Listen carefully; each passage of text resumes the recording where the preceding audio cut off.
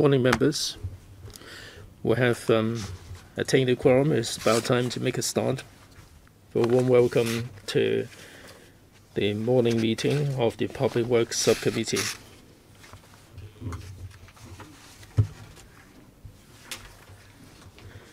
This is the Public Works Subcommittee, and this is the last meeting uh, for this year and indeed for this term, whether we should um, have extra meetings. I think we are uh, facing some difficulties in terms of um, the venues and also in terms of uh, the time available.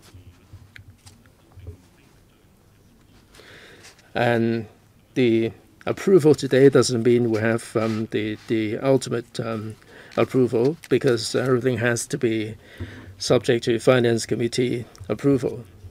So in this um, last PWSC regular meeting, I hope that we can endorse um, the relevant um, funding proposals for submission to the finance committee.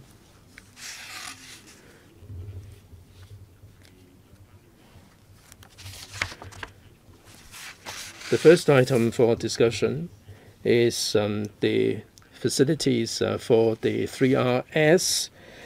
Just a reminder that should members have any um, direct or indirect pecuniary interest, uh, please uh, make the disclosure of the nature of the interest in accordance with ROP 83A and ROP 84 provides for the requirements uh, in the case of um, pecuniary interest um, in relation to voting.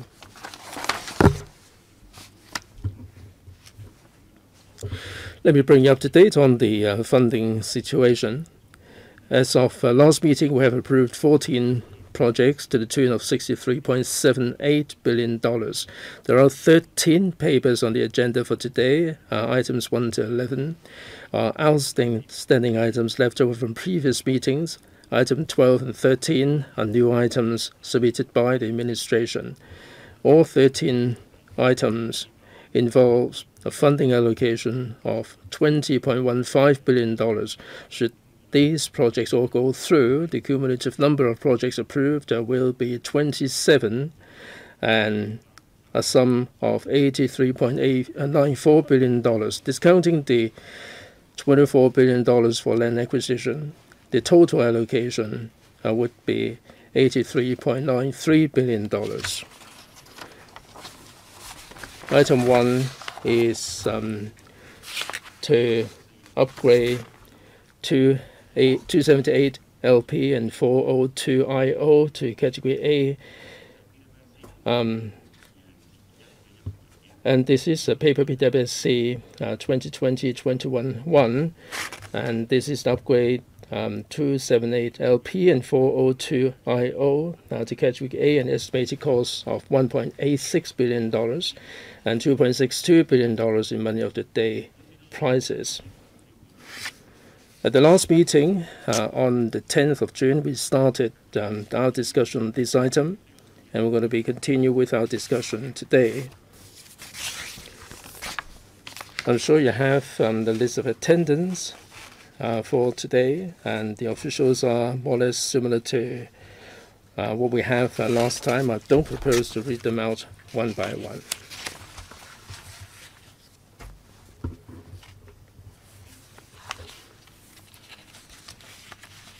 Mr. Not here. Mr. Wu Chi-wai. Your question. Point of order, Chairman. This is our last meeting today.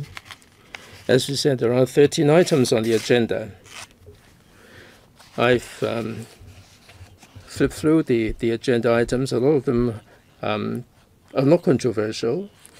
I think we can endorse them. We don't probably need to have a division in the interest of efficiency, will the administration be reshuffle uh, some of um, the items?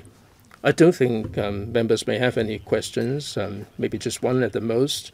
That would be more efficient. Items 1 and 5 are more controversial, in particular item 1.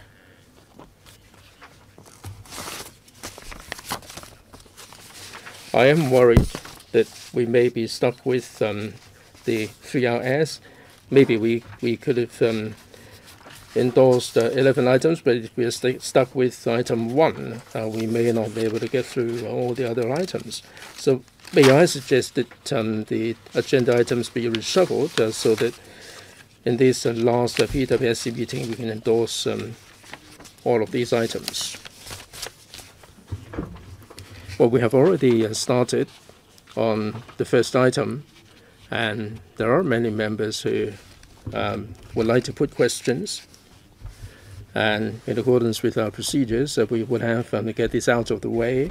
Of course, I'd like to uh, put this to the vote, uh, whether you support or object. At least uh, you get a chance to uh, state your position. I'd like to get this out of the way as soon as possible. For the remaining items, perhaps um, I'd like to um, invite the administration to think about it. And once we're done with the first one, it would be good um, if we can get more endorsed.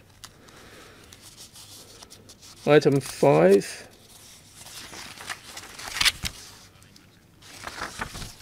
Perhaps uh, Mr. Lee uh, might wish uh, to uh, consider this. Mr. Howard Lee, I'm always to consider this. Let's um, deal with item one first. Mr. Mr. Howard Lee, Chairman. Thanks very much, uh, Mr. Tam, uh, for the suggestion.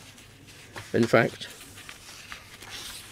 the administration uh, put forward all these items, having uh, consulted all the policy bureaus and internally we did have a very thorough dis discussion and consideration.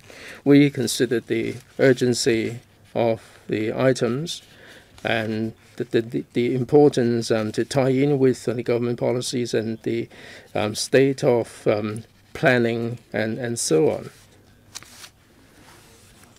So in this meeting, um, the order of um, agenda items uh, has been put together after thorough consideration by the administration. This is the most um, appropriate order. Uh, let's deal with item one and then followed by items two, three. If we think we there are different views, major views about a certain item, then maybe the government can think about this, maybe uh, suspending certain item, reshuffling things around. So since we have just two hours today, we won't have a whole lot of time, even if we do additional, if we extend the meeting, because we have council meeting following. As I made it clear in the beginning, the Public Works Subcommittee be very difficult to hold additional meetings after the meeting today. I will invite members to start. Uh, Mr. Wu Chi-wai, speaking for a second round, three minutes. Chair. In my previous round, I focused on the dual base approach as to whether this is the most efficient way to go. At the airport, in given the epidemic, we see a plunge in the passenger volume at the Hong Kong International Airport, and that the same goes for the cargo volume. Given this epidemic? Has there been deployment or redeployment about the airport staff? Are they still focusing on passengers and cargo, or have they been assigned to do something else? Given this dip in the passenger volume, now I'm not going to get into the details. Can you give me a rough idea about the deployment of the airport staff? Uh, given the drop in demand on airport services, has staff been deployed to other areas for other tasks? Chair, Mr. Cheng.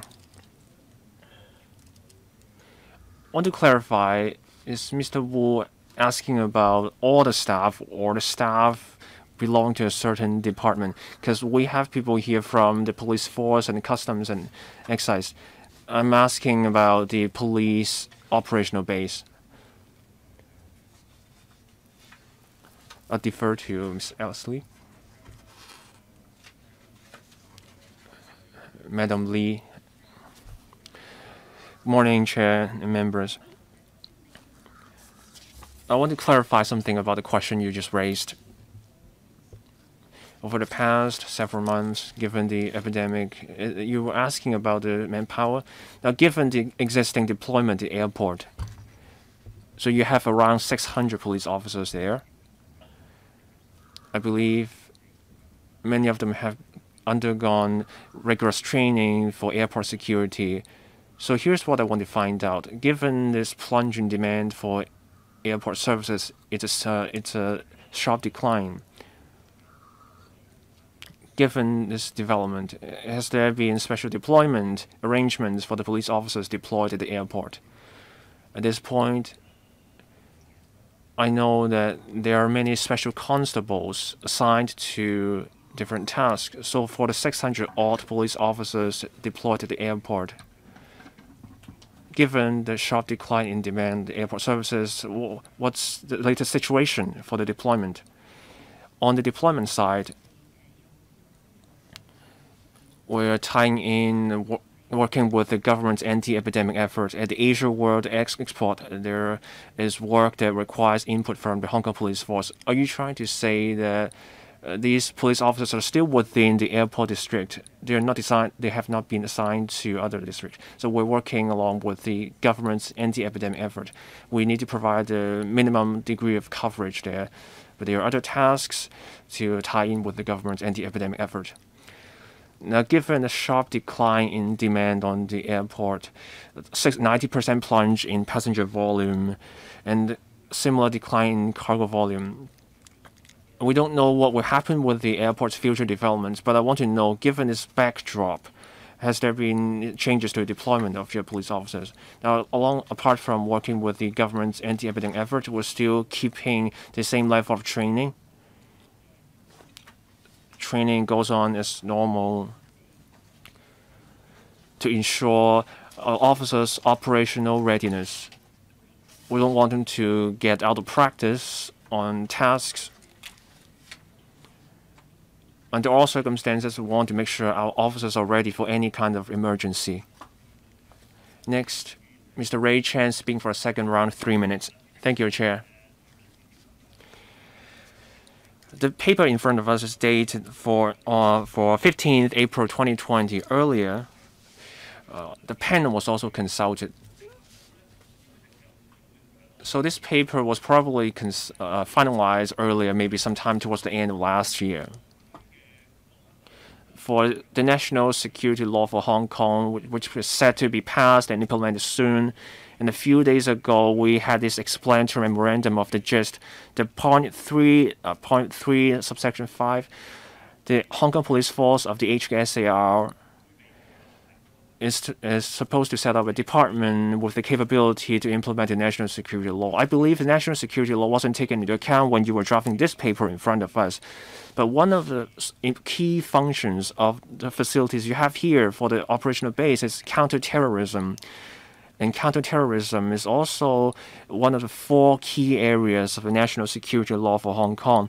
So over the past several maybe weeks, have you reviewed the entire plan for the airport facilities to tie in with the implementation of the national security law for Hong Kong? In paragraph 16, for example, you saying that you need to provide uh, something for the Hong Kong Airport uh, Airport to provide reserve officers that so that at the time of uh, emergency major incidents you can provide reinforcements with your officers. So for the officers undergoing training, what kind of officers are we talking about? As reserve manpower, what what should we make of that? are you saying that apart from airport security unit officers, uh, are you also talking about riot police officers? Or officers for the National Security Commission to be set up in Hong Kong? By major incidents, what are you talking about? Are you talking about people entering Hong Kong or going out of Hong Kong? Who will take this question? I want to briefly address Mr. Chan's question. a few years ago, when the project about the 3RS was being talked about, we were planning the government facilities, as I pointed out previously. The operational base at the airport was being planned a few years ago for the anti-counterterrorism efforts at the airport. As for the paragraph 16, uh, the officers may be on different shifts. Some are on active duty, and while other officers may be undergoing training when the emergency comes up, officers at the training facilities can take part in frontline tasks without delay. So that's the idea. As for the details, uh, maybe Madam Lee can elaborate. Madam Lee. Just then, well, he taught, he taught, you know, he gave us a comprehensive view of the things. So for the major incidents, as you brought up, involves emergencies, unforeseen events, maybe casualties in large numbers, for example, maybe a bomb is discovered or other explosive devices are spotted. In times of major incidents, reserve officers will support patrolling officers and airport security officers. Chair, she didn't address a fundamental point. I know it's all about the security of Hong Kong, but now you have an additional task of securing national national security. Has there been any review for this plan? Maybe a brief response, Madam Lee. In terms of tactics and training, we review these aspects constantly to meet uh, to in response to the international developments and in response to the actual policing needs. As I showed you the clip last time, uh, conducting the drills, um, exercises these are the things we do for the tactics. Next, Mr. Roy Kwong, first round, four minutes. I want to follow up on something, and maybe this is not something uh, from for Madam Lee to address. I have been following this point. It's about whether it's about something unforeseen in terms of construction for the artificial island of Hong Kong Zhuhai Macau Bridge, something came up about settlement, the geological matters, and then there were burst, water mains. Recently, there have been questions raised about the sea sand. We're concerned about maybe there are rises in the price, the costs leading to cost overruns, and I'm also concerned about safety. Can you tell us uh, the facilities will be on solid ground actually? Instead of something reclaimed and due to geological concerns and then you have building safety problems. As for the potential cost overruns, that's something I want to uh, check with you. And second point is safety, as I'm still following the developments about the artificial island of the Hong Kong Zhuhai Macau Bridge. As the media reports found out, there some of the buildings are somewhat a bit tilted. So I so these are questions for the government. So you so you don't have to. So I think the ground conditions are less of a concern because the entire airport sits on reclaimed land. Who of you would take this question? Mr. Chen. Would you thank the member for his question. First, call, potential cost overruns. The land reclamation is something the airport authority is responsible for. As for the cost of sea sand, that's not a part of this discussion here. For this, uh, for this one more than 140 billion plus project, I think we can complete this 3RS project. As for the land reclaimed, uh, there are two parts to there are two layers of the reclamation. At the very bottom of it, there is a sewage. There is a sewage sludge. The cement will be put in, mixed with the sludge, to solidify the bottommost layer. As for the sand, on top there will be compression. The airport police station sits on piles. The piles goes all the way down to the rock layers. So don't have to worry about the uh, soundness of the building structure. We also looked at settlement of buildings on reclaimed land. It's really a very minor. It's a minor issue. It's a different thing from what you just brought up because we're using cement and something else. The sludge is really a, a concern here, but now we're mixing the sludge with the cement to solidify the whole layer. I'm sorry, we're on limited time. Now I can see uh, things look good. Can you give us a pledge here? No cost overrun and no building safety problems. Can you give him a response? The design here, can you give us a pledge? This has happened so many times and you sound so confident, but then look at the artificial island, the buildings, have safety concerns. I put the well-being and safety of our people first. Can you give us a pledge? This will be safe, no cost overrun, no delay, no request for additional funding. Can you give us a pledge? We look, we look at the ground conditions, geological conditions. We have included these things in our contingency fees. We have taken them into account. Thank you, Chair. Next, Tony Chair, four minutes. First, uh, Mr. Dr. Raymond So, can you do something about the light there? Yes, thank you. The Hong Kong International Airport is a key part of Hong Kong as a hub in terms of transportation. In principle, I support enhancing the facilities at the airport. Many members are concerned about the police operational base at the airport want to clarify something here.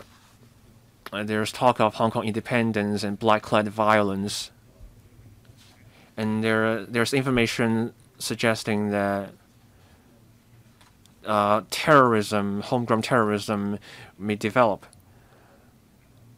In terms of counterterrorism efforts, I have a concern. These plans to put in place the facilities were drawn up before all this black-clad violence.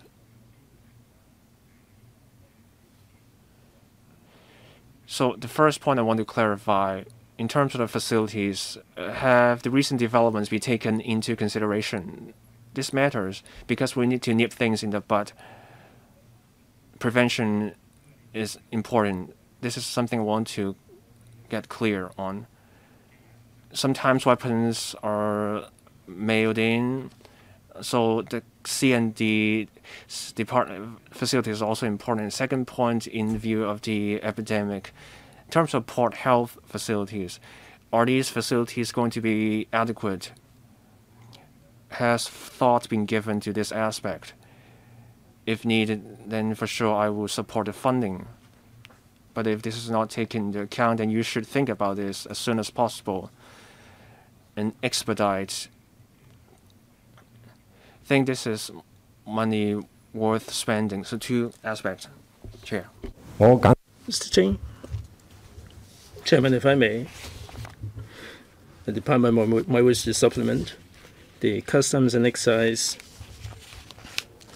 402 IO uh, under that uh, project.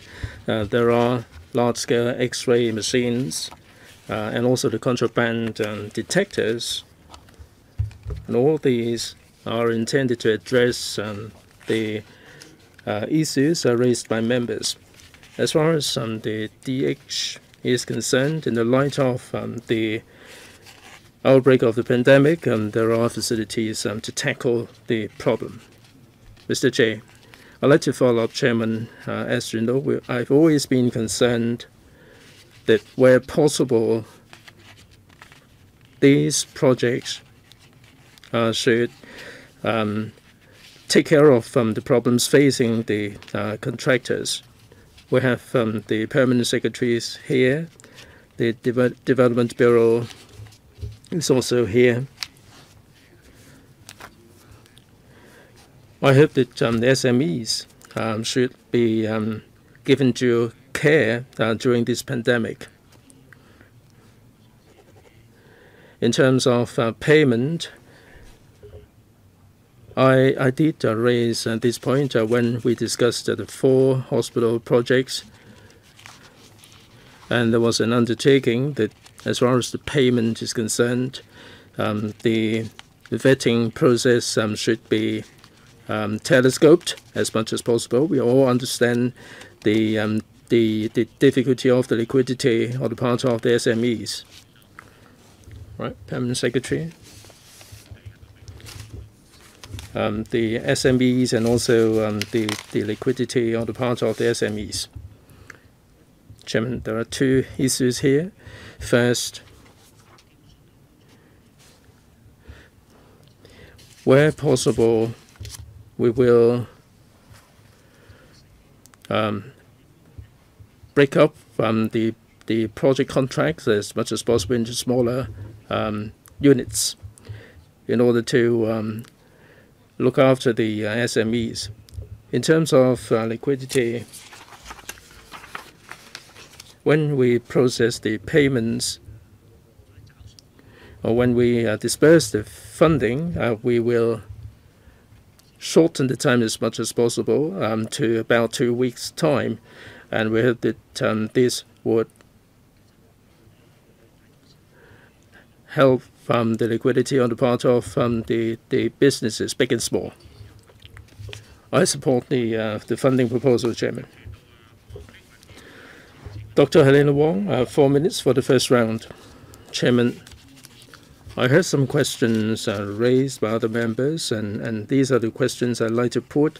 I haven't heard um, a clear reply uh, from the um, police representative. The national security law is uh, being processed um, by the NPCSC. We regret that um, there was no consultation at the council. Now, for this um, dual-base design, is it there to cater for the uh, National uh, Security uh, Commissioner's Office uh, and, and also on agencies of the national security uh, from the mainland. Um, members put similar question, but I don't think I heard a clear reply. As I said last time, uh, this dual-base approach back in the days when the 3RS uh, was um, given the go-ahead and also was given the support by the administration, we started um, contemplating this dual-base approach. The idea of a dual base uh, design is that if one base uh, is um, interrupted, uh, then we would have another base and they can be swung into action. And the coverage uh, will be broader and, and we have um, always said that this um, operational base is intended to uh, safeguard um, the security of the airport and, and also to achieve counter-terrorism. Dr. Wong, so when you um, that that was when you considered the dual-base approach. There are some suggestions that um, the national security law that wasn't contemplated by the NPCSC in May. It was said that they started contemplating this idea about a year or so ago. So it doesn't make sense for you to, to uh, go back in time uh, like this. We have no idea, none of you have any idea uh, when the NPCSC started thinking about the national security law. It may be um, in place uh, next week. My question is, the Commissioner, um, National Security uh, Commissioner will be set up in Hong Kong. They're going to they're going to have uh, an office in Hong Kong and they will uh, take action in some circumstances. They don't just leave it to the Hong Kong police. Now, my question for you is um, the, the commissioner's office is going to be set up pretty soon. Will they be allowed to use the dual base, or one of the bases, or both uh, basis. I've never heard of this. I've no knowledge of that. I've never heard of uh, what the, the member said. Dr. Wong? Will the police uh, representative uh, or the SB uh, representative? Thank you. As the uh, superintendent, as um, the, the, head uh, of um, the, the um, bureau said, um, this is going to be 50% um, bigger and there will be um, greater uh, aircraft movement and passenger uh, volume. And we are looking at the police operation and the, the um, challenges arising from emergency and the need for public safety and counterterrorism. I'm asking you this. Uh, counterterrorism is not just uh, for the police. It is, um, or the um, National Security Commissioner, Commissioner's Office is going to be doing this as well. Will they be based um, in the operational base? Other than the regular uh, patrol police, um, the, the ASU, the Airport Security Unit, is um, a, an elite uh, force uh, responsible for the protection of the airport. Counterterrorism is part of the portfolio. I'm asking you whether the National Security Commissioner office uh, will be based in this space. Is it possible? Will you be uh, putting this in black and white? Yes, please. As I said last time, at the present moment, there is no indication that um, it's got anything to do with um, the national security law. Ms. Claudia Mo, four minutes. The, according to the national security law draft, the police uh, do have um, its own national security office. Will this um, unit be based um, in these police um, facilities at the new airport? At the airport, there is no indication uh, for the time being. So you don't know anything about that. Well, this question has been addressed repeatedly. Well, in connection with liquidity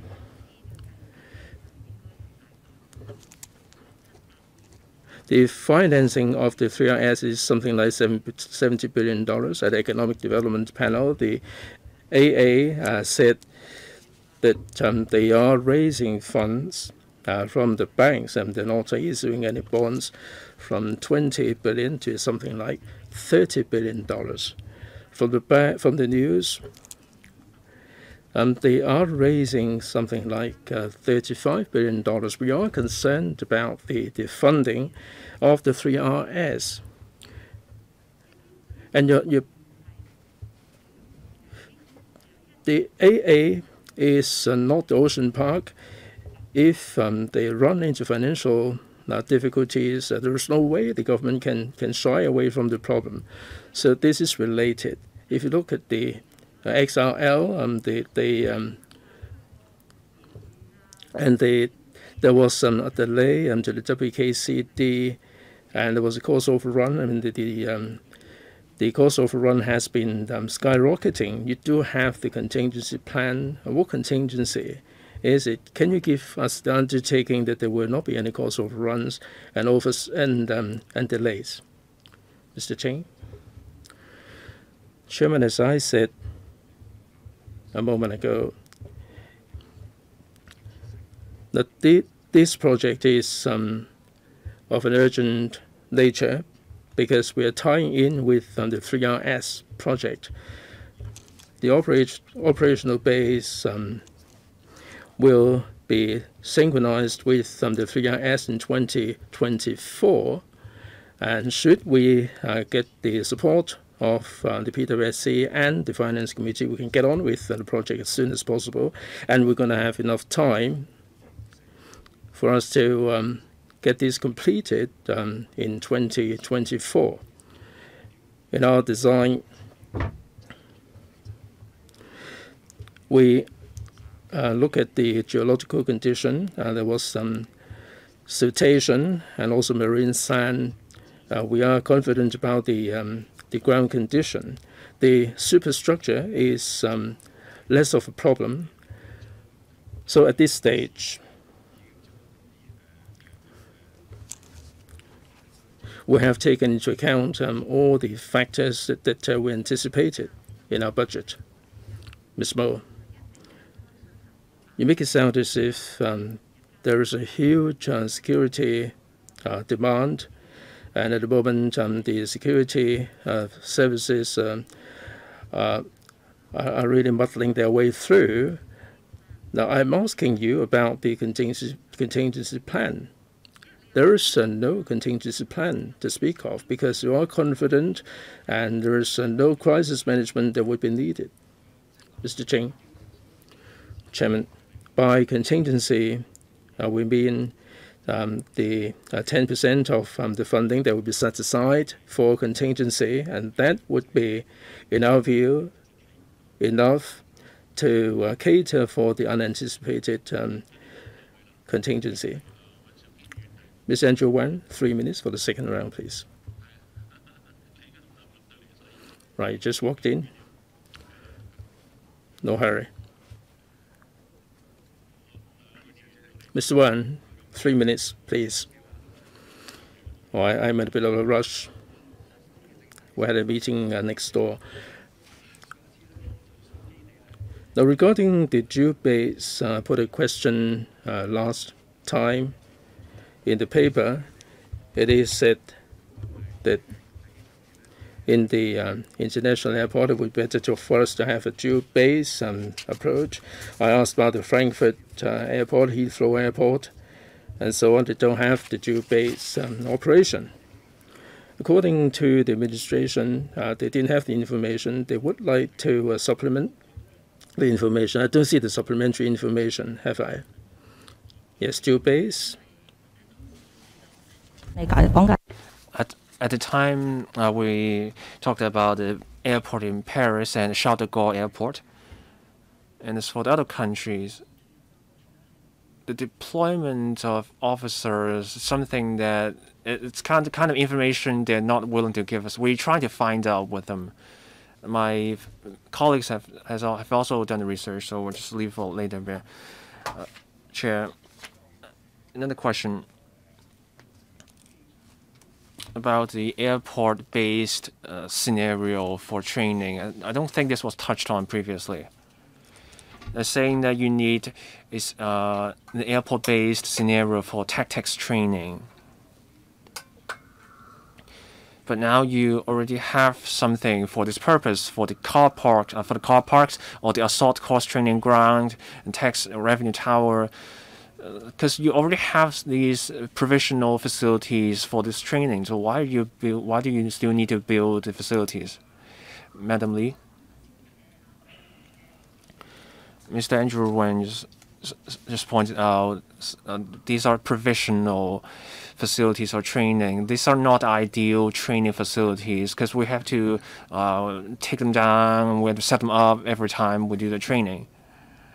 That's So the final question for me, do I have four minutes, Chair? You have no, you have three minutes. So I'll keep it brief. S other members just touched on this just then. Are there facilities in the operational base or, or the airport police station that will be reserved for as office space or workspace for officers when the national security law is implemented in the future. At this point, we don't have any facilities for the purpose. This question, this kind of question has been raised over and over. So after my colleague gives you the paper, will raise new questions. Next, Alvin Yeung, second round, three minutes. Mr. Yeung. Technical question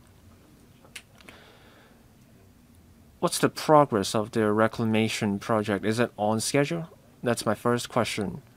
Because this will have a bearing on the delivery of the site to other departments, including the police force, because the other departments will have to build facilities on top. So that's my first question. A question about reclamation. Uh, this the part where we had serious delays, uh, we see the works making uh, much of the progress. Also, I talked about it another, on another occasion is the progress of the reclamation. We're just one week behind schedule. If my memory does not fail me, I think 70%, I think the reclamation is 70% completed. For the operational base, work is made, the works are making good progress.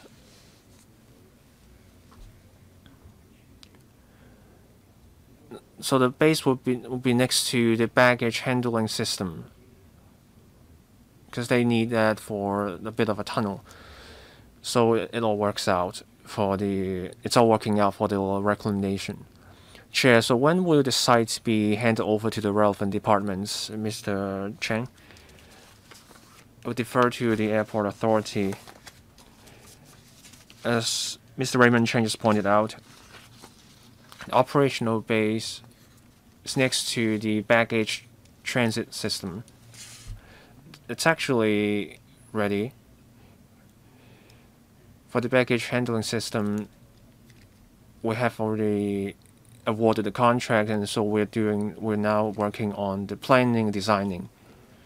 Chair, my question is about something other than the baggage handling system. My question was about when would the site be handed over to the government to construct the operational base? Mr. Raymond Cheng. Chair, the site is already ready. We're trying to let the airport authority get started with the works through an entrustment agreement. So the site is already ready, just waiting for the work to start. Chair, am I getting this right? If this funding proposal is passed at the Finance Committee in the end, so the works can get started immediately. That which also includes the police operational base. Yeah, thank you, Chair we haven't officially entrusted this whole thing to the airport authority. So they're working on the preliminary design with fine tuning, then the works can get started. The foundational works can will be able to get started. Chair, I'm not in engineering, so I'm I'm not sure if I'm getting it. When can you officially deliver the site to the government for construction? That's a straight question, Mr. Raymond Chang. The entire structure will be entrusted to the airport authority. So once the foundation works are done, and then they can get started with the complex. The whole, the entire works will be completed by in 2024. Sim a short follow-up question: Is he saying that the airport authority will also take care of the operational base. That's correct. Now, given the schedule just provided by Mr. Raymond then, I think this has to tie in with the 3RS project. Next, Ms. Claudia Mo, second round, three minutes. Thank you, Chair. The supplementary paper makes reference to the travel time for the ASU officers between the flying ranges and the airport. And there will be impact on the capability of the officers to deal with the emergencies. At now, do you see this kind of emergency major incidents happening often? How many incidents have we seen over the past three years? What kinds of incidents were these? Who will take this question? I'll defer to the police force, Madam Lee.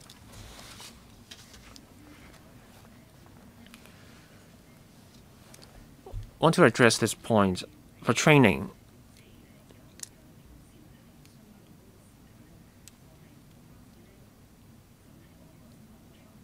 It's more than just about the traveling time. Uh, officers will also have to load arms. It means they have to grab the weapons and depart for the training facilities. The whole training takes four, five hours, and then you also have to factor in the traveling time. So the training easily takes up an entire day. So when our officers are at firearms training, we need other officers to cover those officers. This is a less than ideal situation right now because there can be many unforeseen circumstances. So we want to make good deployment of the ASU officers.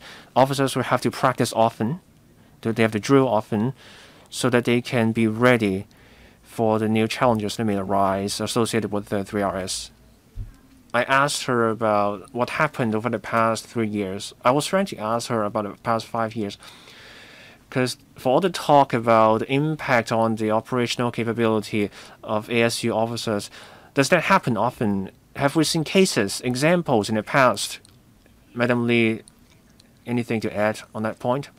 Four years ago, uh, someone was armed, an expatriate was having something like firearms and holding hostage. It took it involved more than just the ASU officers. It was there was also other special units we were dealing with this incident. One even if we just have one terrorist attack, one emergency, that's one too many. We need to stay on the safe side. We have to protect the security of the airport for the officers, for the staff there, and the travelers there. We want to keep the reputation of our airport as one of the safest in the world.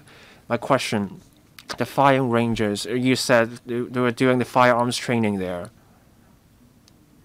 Is this not strict? Isn't is this not something strictly necessary? Like, do you can you put the facilities elsewhere in view of the scarcity of the land resources, uh, the airport, can you move the fire, ring, fire rangers to something like the uh, Lantau district?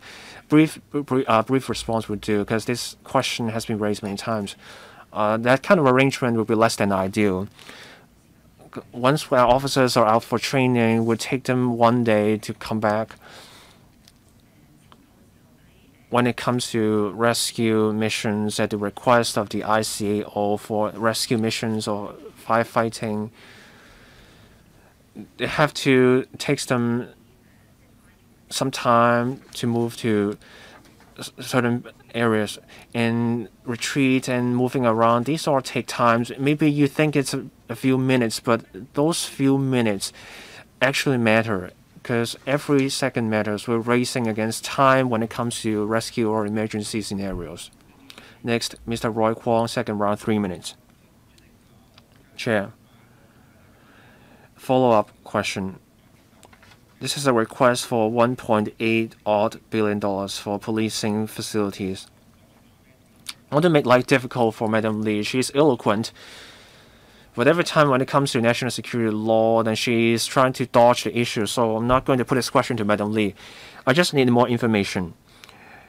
As I brought up previously, I want to follow up on the settlement of the artificial island of the HZM bridge. The police control tower there we have workers who wanted to stay anonymous, who disclose uh, settlement problems about the towers. That's 91 millimeters for settlement. You have works project on public dollars, so I want to make want to make sure it's safe. Now turning to paragraph 16 in the paper and the, the diagrams there. The operational base will be sitting on reclaimed land as we talked about the quality with the sea sand, there's there going to be risk of settlement, cost overrun, delay. This this is annoying because we have this kind of thing happening again and again. People, government coming to us for additional funding. I can see Mr. Raymond Chang is also eloquent. If say you have settlement going happening in the future despite your despite your assurances, that's not something we want to see. So, question for Mr. Raymond Chang Are these facilities going to sit on the land being being reclaimed or to be reclaimed for 3RS? Given your eloquence, can you tell us there will be no cost, no delay, no cost overrun, and despite sitting on siltation, there will be no tilted buildings? Mr. Raymond Chang, please. Thank you, Chair. All these facilities we're talking about will sit on reclaimed land.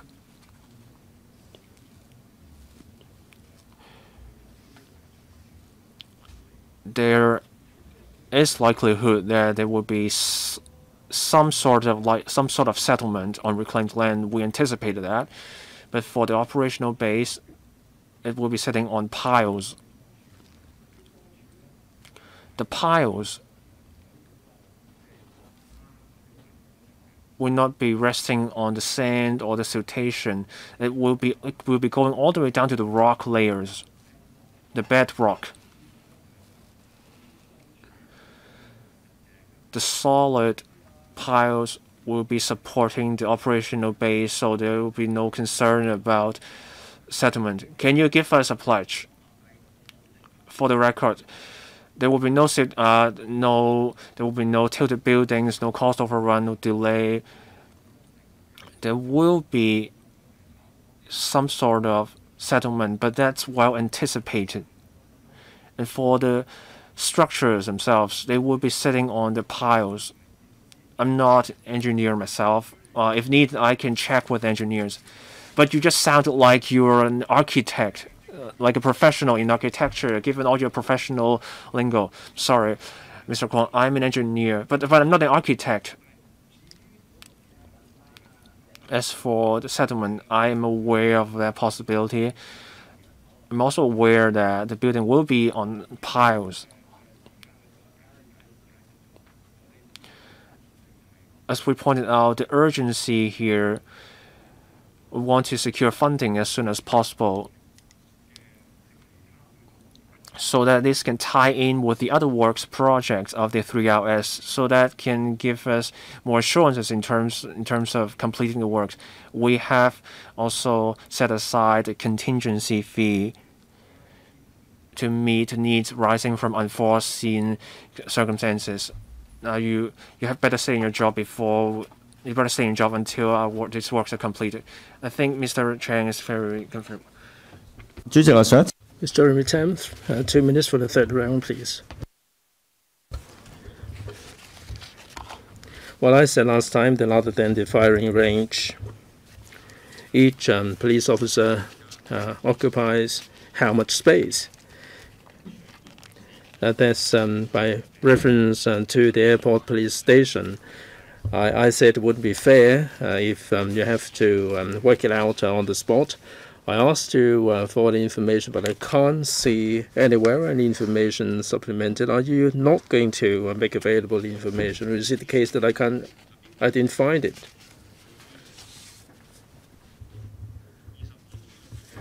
Uh, the paper dated 22nd. 179, 1920, bracket 01.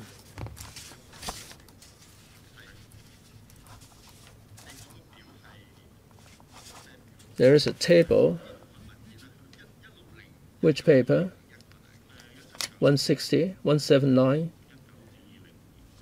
1920 bracket 01. Uh, that's um, the floor space of um, the proposed operational base and also um, the NOFA. Um, that's 4.3 uh, square meters that's in the paper. I got it. Uh, thank you, Chairman. Question, please.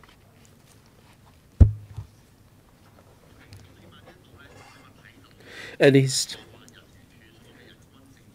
we get to see that um, the NOFA is uh, really consistent, uh, 4.3 square meters. That shows um, the, the reasonableness. I, I'm not going to get bogged down on this point then. Now I've got another question which was put. Uh, it is normally answered by the police. Uh, I'd like to put this to the um, lens. Uh, have you tried um, providing the firing range on Lantau instead of uh, on the artificial island? I talked about a firing range um, just um, in the uh, police quarters. I asked about uh, the, the, the Lantau as an alternative location. I'd like to ask the Bureau, uh, is there any other alternative location uh, for the firing range? instead of the artificial island. Permanent Secretary, Ms. Brenda Nin. Chairman. As regards um, the suitable location, it would depend um, on the client department, and then uh, the Bureau will be uh, giving the assistance.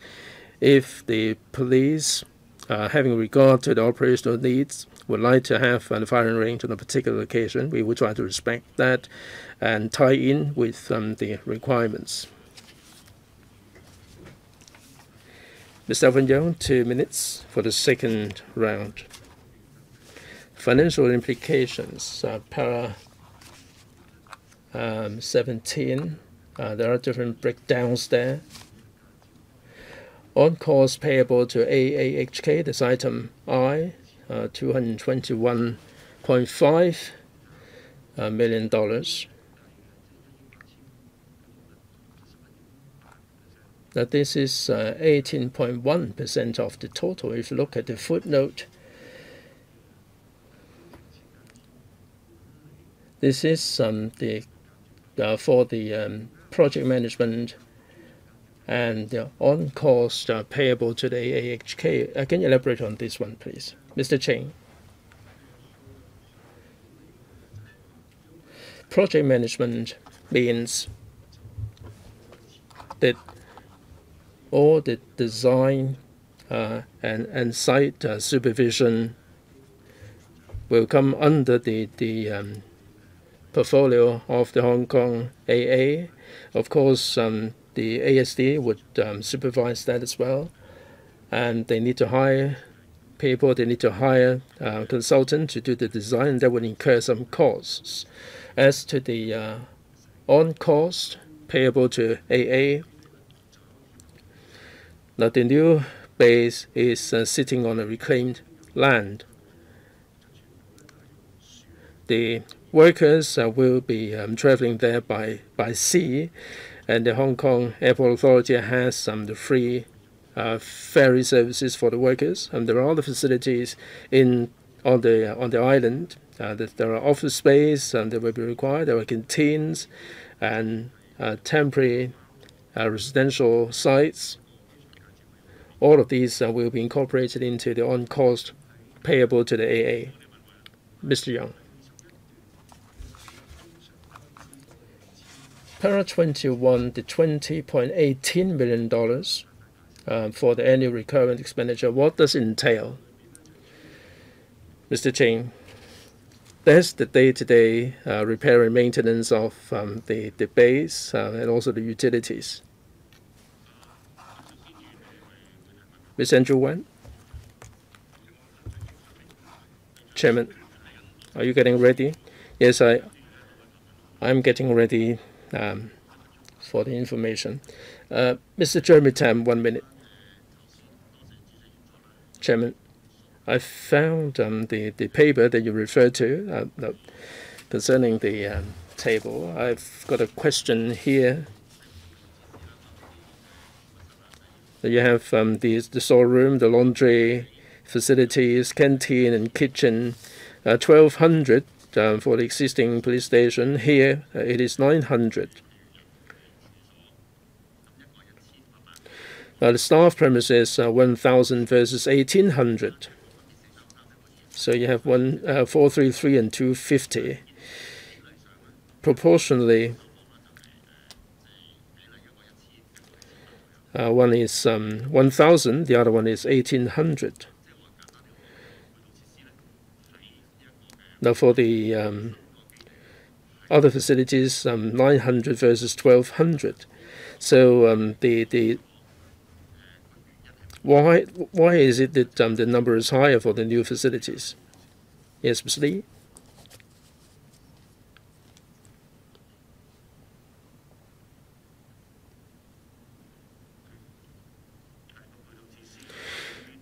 Yes, um, the ancillary facilities storeroom, laundry facilities, canteen, kitchen.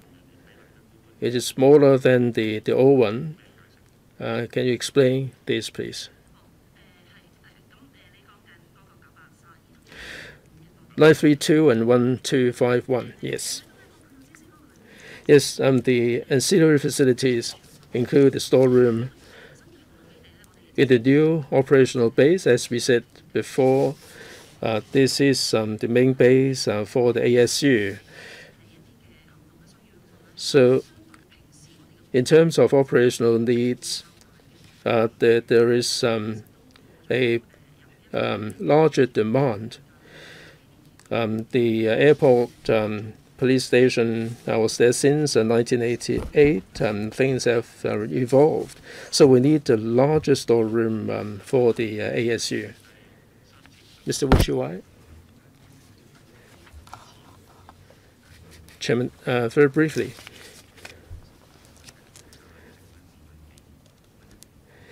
For the airport um, police station, it is uh, fifty thousand dollars per square meters.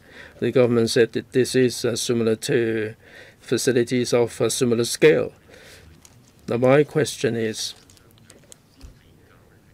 how do you make the comparison? What sort of um, facilities are you make a comparison with? Can you give us more information um, as to um, which year did you take as the benchmark for comparison? That the building services um, it cost us um, three hundred million dollars. That would include um, the air conditioning, and there is also the, uh, professional installation. If you may uh, tell us more um, about the, uh, the professional installation, and if you can't um, give us um, the, the detailed information, for these um, uh, fire services, um, the lifts, and how to make the comparison with um, the, the professional installation, the, the specialist installation. Now, in government buildings, uh, presumably uh, you have these uh, basic uh, building services. Can you uh, give us um, some um, comparison in terms of um, the, the price tag? I defer to the ASD. Mr. Lee from the ASD, please. We did make some comparison with other police stations. Uh, each police station uh, are unique. Uh, some have um, their own uh, car parks. And at Tak, uh, we, we look at the situation. Uh, they may have um, the district cooling system, discounting all the um, facilities. we um, have a general comparison, we find that uh, most of them are similar in, in, in, the costing. So the costing is uh, similar. For the BS, is uh, 331 uh, million dollars. You mentioned some specialist installations. I, I talked about um, the electricity, the fire prevention, so on, the basic um, facilities there. Mr. Wu? A brief follow-up, if I may. Now you have the uh, specialist installation, um, the, the water, electricity, fire prevention, and so on. What, what exactly are the facilities there? Mr. Cheng? Well, they, they include um, the CCTV system, the broadcasting system. In, the, uh, in this box, they do need these facilities. But you have another item. You have these um, building services you have um, the the um, the F&E and also um, the BS. The broadcasting system doesn't come under this, Mr. Wu. You have um, the build uh, the building services, and you also need um, the CCTV and all the extra hardware. They're not part of the building services. I understand that, but can you elaborate further on, on this one, please? And also um, the antenna system. Now the, the water and electricity, they are a, a must and for example, for the police, they will have uh, more CCTVs other than the normal uh, number of uh, CCTVs. They also have the broadcasting system that they will be um, adding, and these are the specialist um, installations.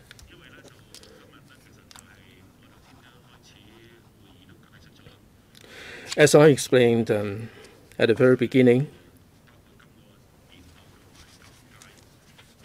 this meeting uh, is going to be the last uh, regular PWSC meeting for this term and also for this um, year. It would be hard for us to have um, to schedule additional meetings uh, because of um, the the uh, sheer number of items at the Finance Committee.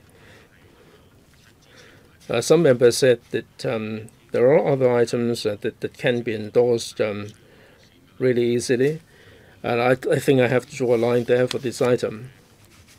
Uh, for those uh, who wish to, to um, make further comments, uh, please press the button.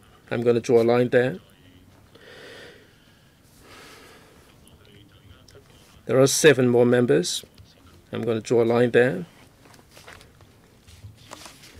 Chu, Jeremy Tam, Wu Chi Wai, Claudia Mo, Alvin Yeung, Andrew Wan, and Roy Kwong, seven more members. Ms. Claudia Mo, two minutes for the third round, please.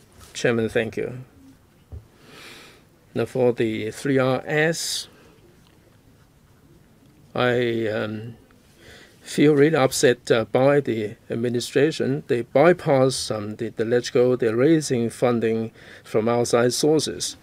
As I said, um, this uh, financing arrangement is uh, really horrendous. That they, they include um, the green bond and, and, and so on.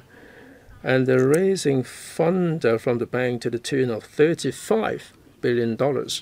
If um, you can't even uh, get the financing for the 3RS sorted out, you are seeking funding uh, for the police facilities and also the facilities for other departments.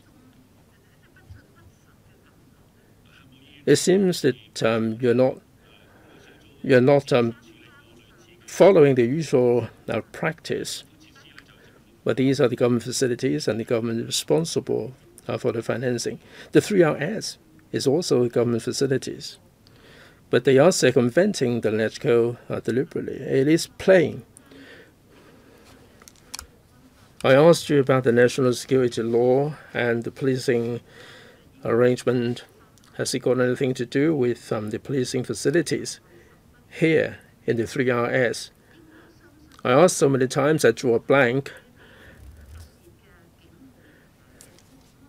I don't think um, the national security uh, agencies uh, will be based um, in this uh, operational base. Uh, it may be safer for you to uh, not to answer the question, but you are um, being unfair to Hong Kong people. You say you have 10% um, contingency, and you will be able to cope with um, the, the contingency situation.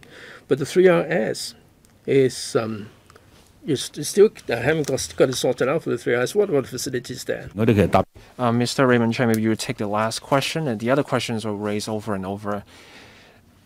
As we made it clear on Monday for the 3RS, we're confident that we can stay within the original budget and the timetable. We can get those done. Thank you, Chair. Next, Mr. Andrew Wan. Third round, two minutes. I have been questioning the necessity of this facility. My colleagues has done some online research, and I've done some, some uh, research myself. The Frankfurt Airport, they have just one operational base. I'm not sure why I was told that they have no information on this. Did the police really find out about the arrangement at the several airports, Heathrow, or the that airport in Japan. Is it truly necessary to have a dual base in that airport? At the previous meeting, in fact, pre prior to the previous meeting, I did my own research. As for Frankfurt Airport, I didn't touch on that particular airport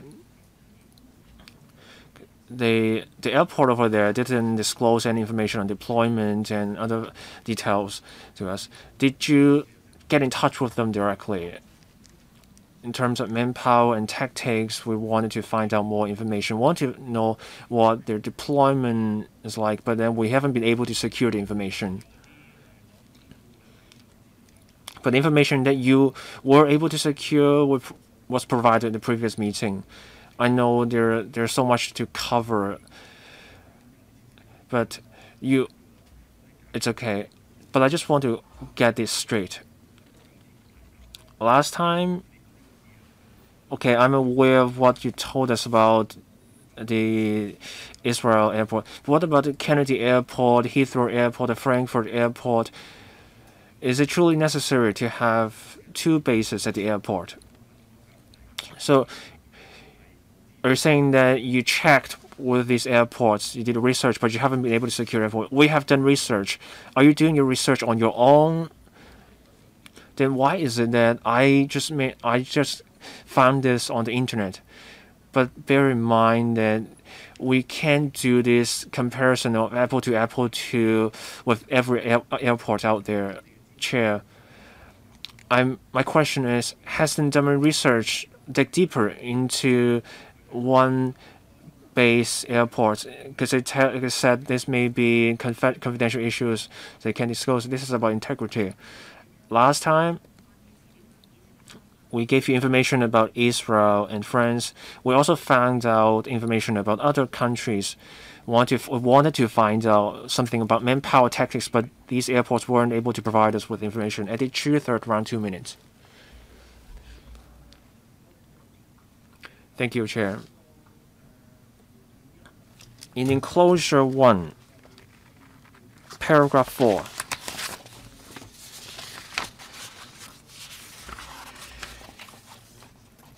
uh, there's an increase in policing work, an increase in demand for policing services, and that's why you need the new training facilities and other facilities. Here's my question. The third, the three runway project. I know the reclamation is going on, but the works are yet to be completed. The new passenger building, the third passenger building,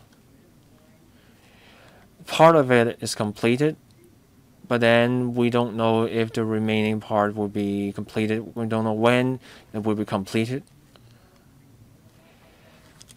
Because the airport authority never disclose, never publicized the master plan for 2035.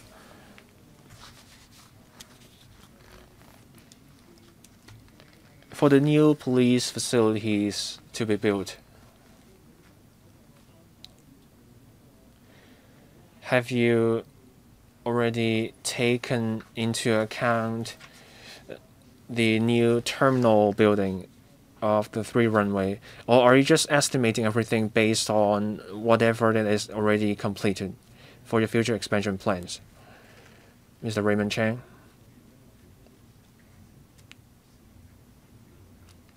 We briefly touched on this. If you look at the manpower, uh, there will be a 50% increase in the size of the land for the airport. So we expect an increase in manpower that of uh, around 250 officers that we to be accommodated. From the establishment of the airport police station establishment around 400 odd officers. And now that we have uh, over time you have more passengers using the airport but then there has been no increase to the size of the airport pol police station But if you look at the hardware, you have to do something about it. But my question for the 250 officers to be increased to the airport, are you going to increase the manpower further to the airport? Now we're just making available the site. The police force will take into account the needs at the passenger building and maybe increase manpower accordingly. If there is more passenger flow, then the force, the police force will make adjustments to manpower appropriately. Next, Mr. Roy Kwong, third round, two minutes. Chair, simple question from me. This is a request for the 1.86 billion dollars. The 3RS reclamation works aren't even completed yet and they want to build a police facility there. I asked the government about possible cost overrun, delay. I, I just want to make sure we're spending public funds properly. Now you can you can give a, you can talk with confidence, but we just need a pledge. Let's look at what happened yesterday. Uh, at the Penny's Bay, a, a, supervising staff was there from the CEDD. He got beaten up because he wasn't willing to sign the certificate of compliance. He got beaten up. Now, if something goes wrong with the works there, you just don't get this madam to go there for you. For those of you on top of the hierarchy, talking with confidence, saying everything will work out, no cost overrun uh, with uh, the high-speed express rail link, the previous officials aren't even here today. So this this is my question to you for the third time. Can you give a pledge? You will not ask the Finance Committee of the Public Works Subcommittee for for the funding to cover cost overruns. You have a budget, follow your budget.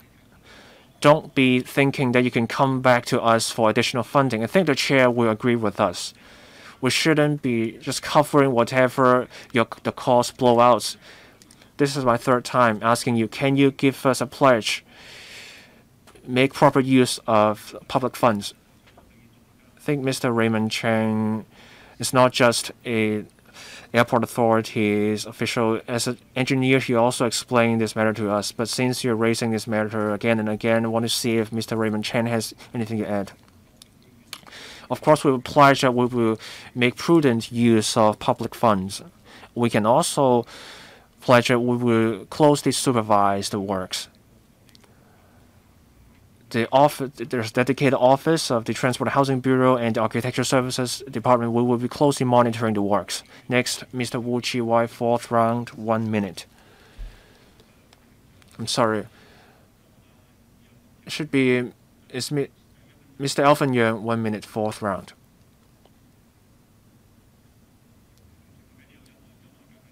Just finish your coffee, Mr. Yeung. follow-up question. Recurrent expenditure. By recurrent expenditure,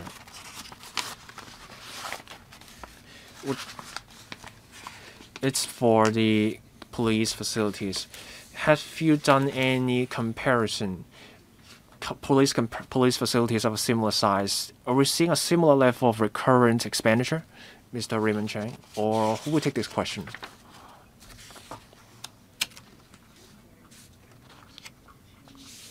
we're talking about the 20 million odd dollars for recurrent expenditure. For this kind of structure, it's at a reasonable level because it covers the regular expenses, the fire installations, maintenance, utilities, repairs. That's a reasonable level of recurrent expenditure. Chair, for, of course, you give us information that you find reasonable, but my question is, have they done any comparison? Are, say, electricity tariffs, are these, are they at similar levels? Have you done that sort of comparison to help us understand this issue better? Or is it the case that you just don't have the information at hand? Maybe can you provide us with further information? Or we, we can ask them for supplementary paper on this information for the 20 million dollar recurrent expenditure. Give us a breakdown on that. Chair, the police operational base, the firing range. This is some. This is a unique setup. So I will look into this.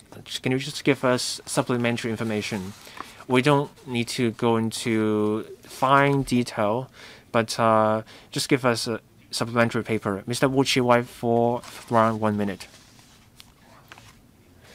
It's a further question about clarification. We talked about a specialist installation. You gave us an example. Uh, maybe it's uh, satellite systems stuff. But my understanding is that building services. So by BS system, I know there may be wiring, pipes, but in terms of furniture and equipment, you have a separate item for that. Furniture and equipment item. Uh, there's also an item called communication cable and associated works. Now I know the utilities are there in building services, and then you also have specialist installations. What do you mean by the specialist installations? I just I need a proportion. What's the percentage the specialist installations taking up alongside those utilities fire service installations? Mr. Michael Lee from the ASD. Uh, let me just clarify this. Covers broadcasting systems, alarm systems, burglar alarms, in fact. Uh, there is also the CCTV system. These are the specialist installations. There are other items you brought up uh, for the uh, communication cable, associated works. These are equipment outside the police station, police operational base. So for the building services, we're talking about equipment inside the buildings. But you said something in addition to the utilities. Are you saying that they take up a very minuscule percentage? Can you give us a breakdown of the percentages? I got the impression that the specialist installation take up a quite a sizable percentage. Can you give us supplementary papers after the meeting? I think that would clear things up to help members understand what's here, going on here.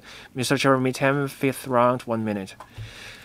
I want to focus on PWSC 179, the supplementary paper in the form of a letter.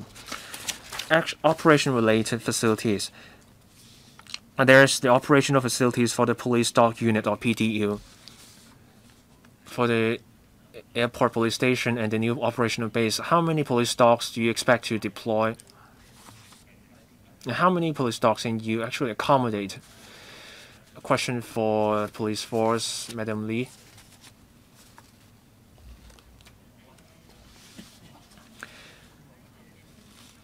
Police dogs are part of the patrolling duties. Right now, we have around 14 police dogs in the airport police district. So you will have 14 in the future. Uh, we will have to look at the kind of needs in the future. Chair, and I request that this discussion be adjourned. Mr. Jeremy Tam has asked that this discussion be adjourned. In accordance with our procedure, the PWSC procedure 33, Rule 33, members can ask to adjourn a discussion item for once the member making this request, please press the request to speak button to speak for three minutes. Mr. Jeremy Tam, three minutes. Chairman, with, with regard to this item, um, it's not a problem in terms of the practical uh, issues. The uh, 3RS um, means that the airport is bigger and, and the passenger volume is uh, higher. It's, it makes sense uh, for, for us to build um, the police facilities there. And we mentioned um, the Frankfurt airport. Um, they also have three runway system, but they're not um, three runways in parallel. They have cross runways, and the area is um, not as large as ours with um, the three runway system. If you ask me whether we need um, these facilities, we we do need these facilities for the 3RS. I um, move a motion to adjourn the discussion simply because of the training facilities. The reclamation is costing us um, $140 billion. I'm not sure whether there is overspend. The land is uh, really precious, and we are sacrificing a lot of the ecology uh, to make this happen. So the, the land utilization has to be very cautious. What I can't stomach is um, the training facilities. Why is it that um, you want to make it closer? If you want to make it closer, why don't you have the firing range um, just just um, on the ground floor of the police quarters? Or you're going to have um, the, the firing range in every police station. Don't we have any other alternative um, location in Tung Chung? It's not far to go from Tung Chung to the airport. Even from the northern tip um, to the southern tip, it would be a longer distance than if you travel from Tung Chung to the airport. If emergency occurs, it all depends where the emergency occurs. As I said at the very beginning, I hope the administration uh, would um, take advantage of this last meeting to, to get through all the non-controversial items. And you you don't entertain this idea. I think other than items 1 and 5, all the rest of the items are uncontroversial. And we don't need to um, to uh, separate them out for, for uh, separate voting. They can be endorsed at the Finance Committee. Is it because of the police facilities that we cannot reshuffle the items? I hope that we can adjourn this item so that we can get through all the rest of the the uh, uncontroversial items. I hope that the administration would have regard to my points. We still have time uh, to, to get this done. Mr. Ray Chan, three minutes, please. Chairman, thank you. Chairman, I go along with um, this adjournment motion. Mr. Tam um, was being nice uh, this morning to start with. At the ESC or here at um, the PWSC, members do cherish um, the, the hope that they would like to see the uncontroversial items endorsed and they will not be separated out for voting at the Finance Committee. And then after the first item at the Finance Committee, they can be put to the vote for endorsement. Remember, at the ESC, there there are some hospital projects. Uh, there is um, the 10-year hospital construction program, and we got this done within the last few minutes. And there was also the aviation safety item that, that uh, was got out of the way. I think we have to come back to this item. Even if we manage to adjourn this item today, the government can still um, Shafi 2, the Finance Committee can jump the queue to put on the first and second item. And that is um, the power of an executive-led government. But we hope here in this council for these uh, libraries, uh, road infrastructure, school conversion, we hope that we can get on with these um, as soon as possible. I, like Ms. Colombo, am against um, the 3RS. Now, now we are already committed to this, and we have to to to um, deal with um, the security facilities. And if uh, we adjourn this, and uh, the government doesn't put this to the finance committee, we are going to see a doubling of um, the price tag because they haven't uh, talked talked about um, the the national security law implications. Officials at this rank are reluctant to address um, any questions regarding the likelihood of um, the mainland agencies being stationed there and, and also whether there, there are any uh, detention facilities there. They are reluctant to, to address this. I'm sure that the top echelon must have uh, considered this. Uh, John Lee must have considered this. Now, if um, they're going to get this um, into place on the 1st of July, they must be um, well prepared. Mr. Jeremy Tam also mentioned the firing range. Um, I don't think I'm convinced uh, logically. I, I think it would be it would be um, uh, the fastest um, mode if uh, you have all the police officers living on the airport island, and then you have um, all the operational readiness. Mr. Wu Chi-wai, three minutes. Chairman, I, I speak in support of uh, the adjournment motion moved by Mr. Tam. In these meetings, we asked about uh, whether we can have um, a um, bigger police station uh, to deal with um, the 3RS, or, or, do we need this uh, dual base approach? I've always been of the view that um, to, to meet the new demands, it would be a good idea for us to have a larger police station that would be that would mean uh, a better utilization of the land space, and it would mean a more reasonable and more uh, appropriate arrangement. Now, the the rationale uh, for the base approach is that that um, they, they would take uh, less time to, to travel from one point to another. But if uh, you can you can site it more uh, centrally, it would be a more desirable approach. And this is uh, more in keeping with um, the principle of um, utilizing the, the, the scarce uh, land space uh, more judiciously. I don't think we should sacrifice um, the, the precious uh, land uh, floor space um, because of the police facilities. Also, I've um, asked about the uh, $331 million for the BS. In the footnote, uh, it says that they have uh, taken into account the, um, the, the, electrical um, ventilation water uh, installations, and they also have the specialist installations. What, what are the, the specialist installations? What are they all about? From what I heard, it seems that they have to do with um, the um, the, the ducting, the, the, the cabling, and so on. And I don't think these um, form part of the, the specialist installations. And you should have this uh, in the uh, F&E uh, vote. Now, why, why do you put CCTV in the, um, the building services um, vote as well? I can't see this being a big sum and uh, for you to to, uh, to put them here, it would be um, a pretty large uh, price tag. It seems that the officials cannot really address this particular issue, and also the total um, cost of the project. Uh, we're talking about fifty thousand uh, dollars per square meters, and for for the eight-story block uh, project uh, that we've seen, hard, we hardly ever do we see a price tag of uh, $50,000 per square meters.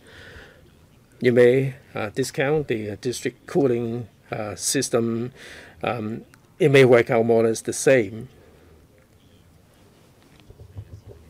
For the building services, Dr. Fernando Cheung, three minutes, please. Chairman.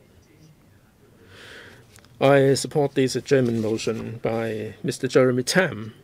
I think we have to um, get things uh, cleared up first. Mr. Tam um, raised the point about the dual-base approach. Does it represent uh, the best uh, utilization of the precious land on the on the artificial island? I, I think we have lagging doubts in our mind. What I'd like to put to the administration is whether these facilities have anything to do with the implementation of the national security law. The police made it clear, John Lee in particular, uh, said that there is going to be a special unit to be created in the police force to deal with national security. And from what we heard about the national security law, the CPG is going to be setting up an office of the Commissioner for National Security, and this office can exercise jurisdiction to implement the national security law. Now, for these facilities at the airport, will they be used by the uh, Commissioner's office to, to implement the national security law. We put a few questions, we put questions a few times. The superintendent couldn't answer the question. We, we cannot be sure about the national security law for now. And we heard that there is going to be a, a detention uh, facility that can um, detain the suspects um, under the national security law indefinitely if we're going to have a facility like this, um, I don't think I can bring myself to support it. Also, the in the airport facilities, to what extent uh, can the commissioner's office um, can implement the law, and how are they going to be implementing the law? Would they be armed, or would they be resorting to, to force? And in these facilities, will they be interrogating suspects? And in what way are they going to be in interrogating people? Without any clear idea, I don't think I would be in a position to support this. Will the administration please uh, put things beyond doubt as to whether the police facilities uh, will end up being used uh, by the special specialist unit or, or, whether they will be used uh, by the um, commissioner's office. And will the facilities uh, be uh, used by the, the commissioner in any way? Ms. Collyer three minutes. Of course, I support this adjournment motion raised by Mr. Jeremy Tam. The 3RS um, is uh, likely to be the most expensive um, project. It started off uh, from $80 billion and now it's ballooned to $140 billion. Uh, it's all set to be uh, completed in 2024 and it is uh, four years away the AA uh, has been saying that we don't have to be worried about um, the, the finance and they, they will uh, be able to, to cope uh, financially. If um, the AA is uh, going to run into trouble financially, the government will have to, to step in. You cannot say that um, before 20 25, um, the AA has the financial financing package, and the government doesn't have to step in and inject funding. They are building these police facilities on the 3RS and all the rest of the government facilities. And they are seeking funding here at this council. Uh, this is some um, taxpayers' money. It seems that um, it is still pie in the sky you don't even have the runway.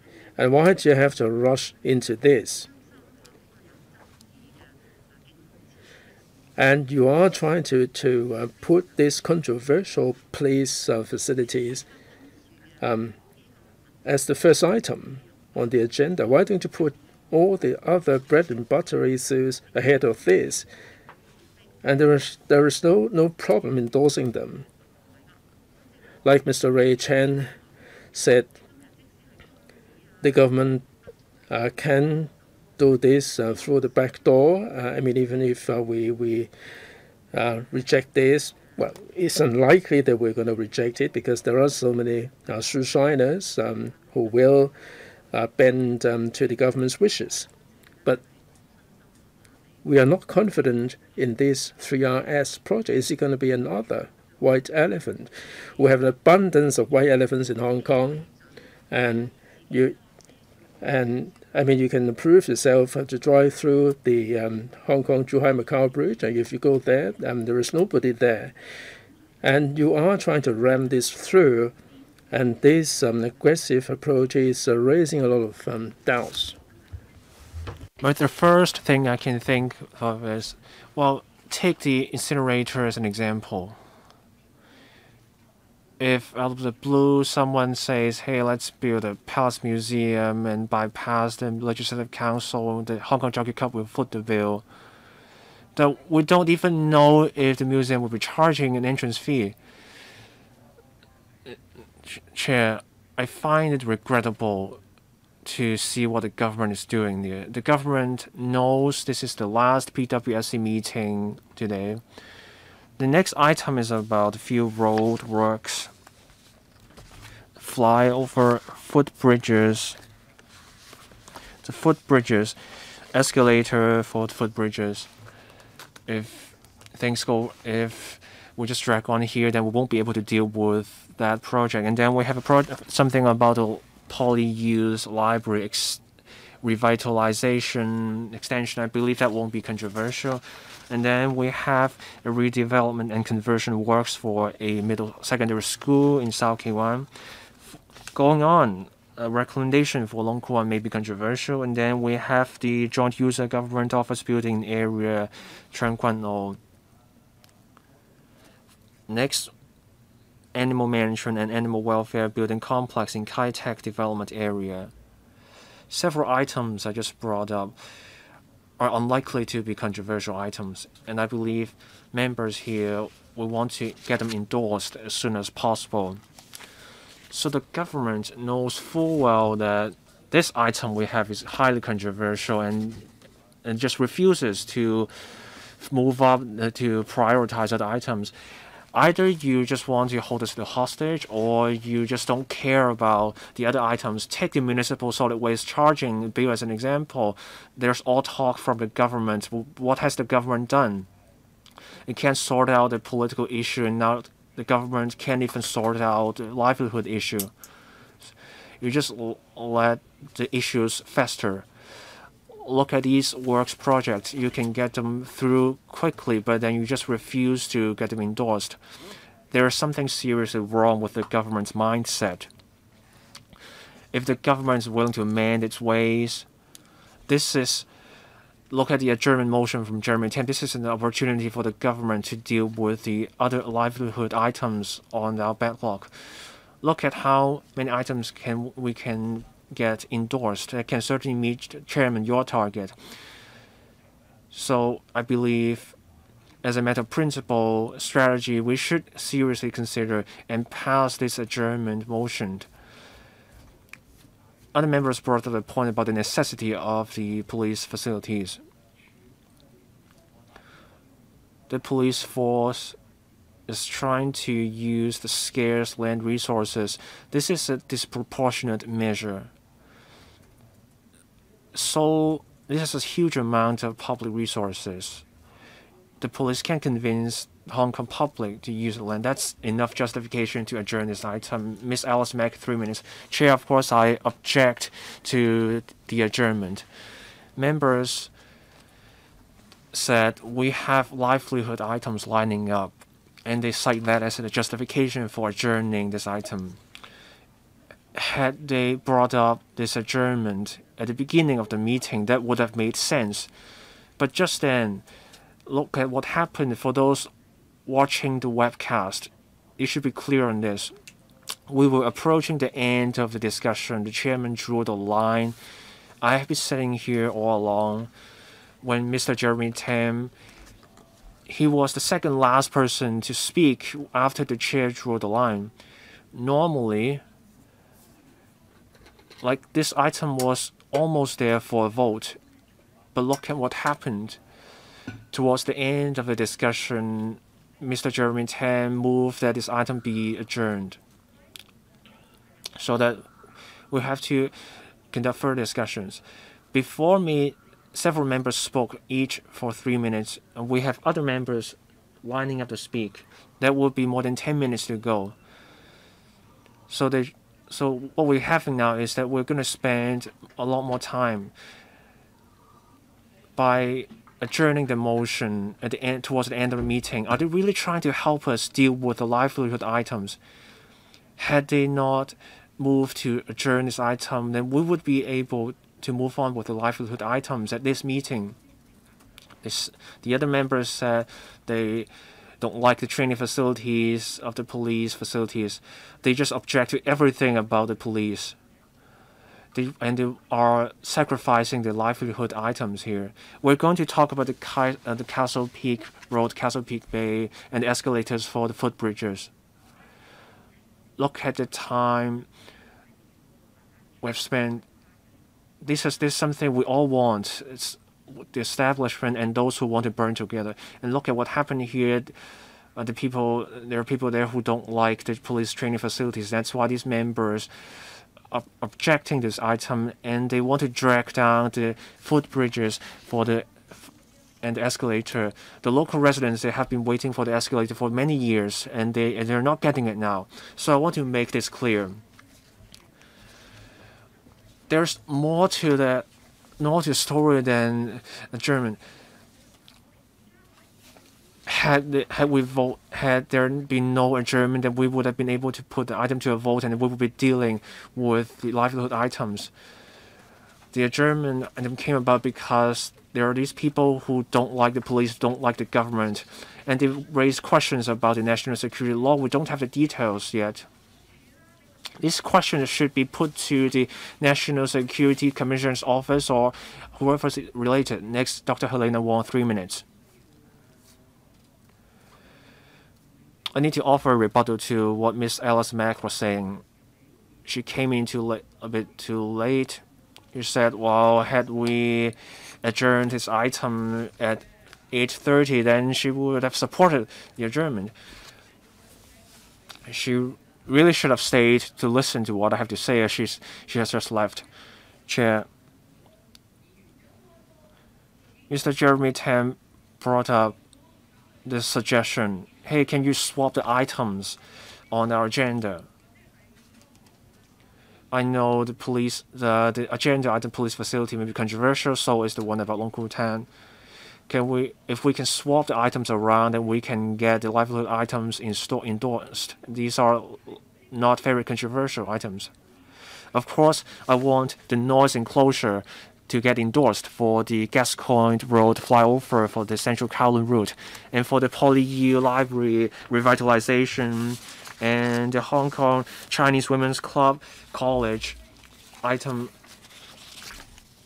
I support adjourning this item about the police facilities. Not, I'm going to stop here because I want to wait for more details about national security law. Mr. Andrew Wan, three minutes. I don't have anything else to add. I'm extending the meeting all the way to 10:45. Mr. Roy Kwong, three minutes. Nothing special from me. Thank you, Chair. Ted Hui. Thank you, Chair. I'm in favor of adjournment. Here's why. It's something about the ordering of these items. I think this the government is taking this personally. They put the controversial item first, and they and they put the livelihood low, not very controversial items behind those. That's a problem. My question for Lo Wai Kwok, why the hurry? You have to let people finish the questions. I arrived early. I've been listening to the questions raised by members. I have taken note. And then you draw a line. I was listening to this Now news interview on Now, and they just drew a line. This is this is just wrong. I wanted to raise questions, but I didn't get the chance to raise questions. I haven't raised a single question in the meeting today, Lo Wai Kwok. Look at what you've done here. You're drawing a line. You want to hurry things through, but you have to honor procedural justice. Now, coming back to the item here. The three runway project bypassed the Legislative Council. If you say we already we already committed, but then any shortfall in funding, you just come back for additional funding. How can you get us to support you? Any facilities, any construction works. If you're so confident about these projects, then why are you coming to the LegCo for additional funding? Why didn't you secure LegCo's consent when you were trying to get started with the three runway project? And now you're asking for money for the facilities. Let's leave aside the importance or the impact on the economy as a matter of public administration, this, this isn't something that you should have done. That you that you're asking us for funding today.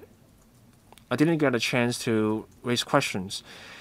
It makes perfect sense for members to ask questions about the national security law. Uh, there will be a national security organization here, and then there will be a special branch in uh, department in the police force. So now you have a new police facility. We ask you how many of officers would you be deployed there? How would you enforce the law? But you haven't been able to address these questions. And how can we endorse the funding proposal? It's not just about the three runway. We will ask you similar questions whenever you have police facilities in the future. Bear in mind that the police force has lost all credibility. They don't go by principles. In the eyes of the public, they just don't like you. It's our job to get to the bottom of things and ask questions. Next, Mr. Eddie Chu, three minutes. Thank you, Chair.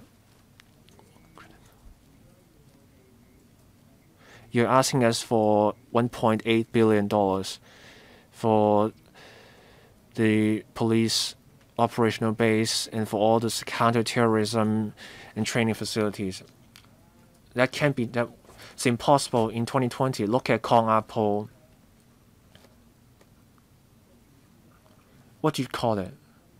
we have a nickname for it, the Sun Kung Lang. You, you're keeping information from us.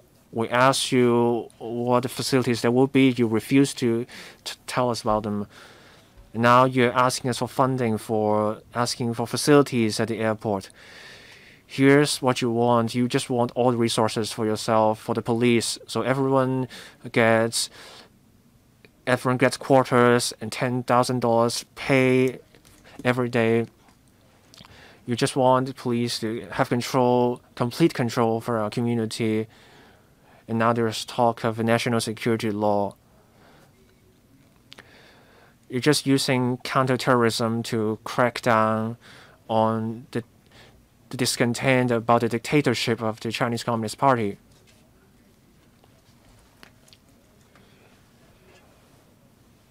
We all know how politics goes here. Even if you get this item endorsed at PWSC today, then we will keep asking questions and we will ask for the ask that the item be voted on separately at the finance committee. You, we know there will be items that can get endorsed now, but then once this item goes to the finance committee, will the uh, the item will get bogged down. It's inevitable to have what we have here because people in Hong Kong don't like the police. They give the police money and power, but then the police just abuse the power and becomes a lapdog of the Communist Party. That's a fact. I will say this again and again. You can badmouth us, but just think just think about it. How many people actually support you?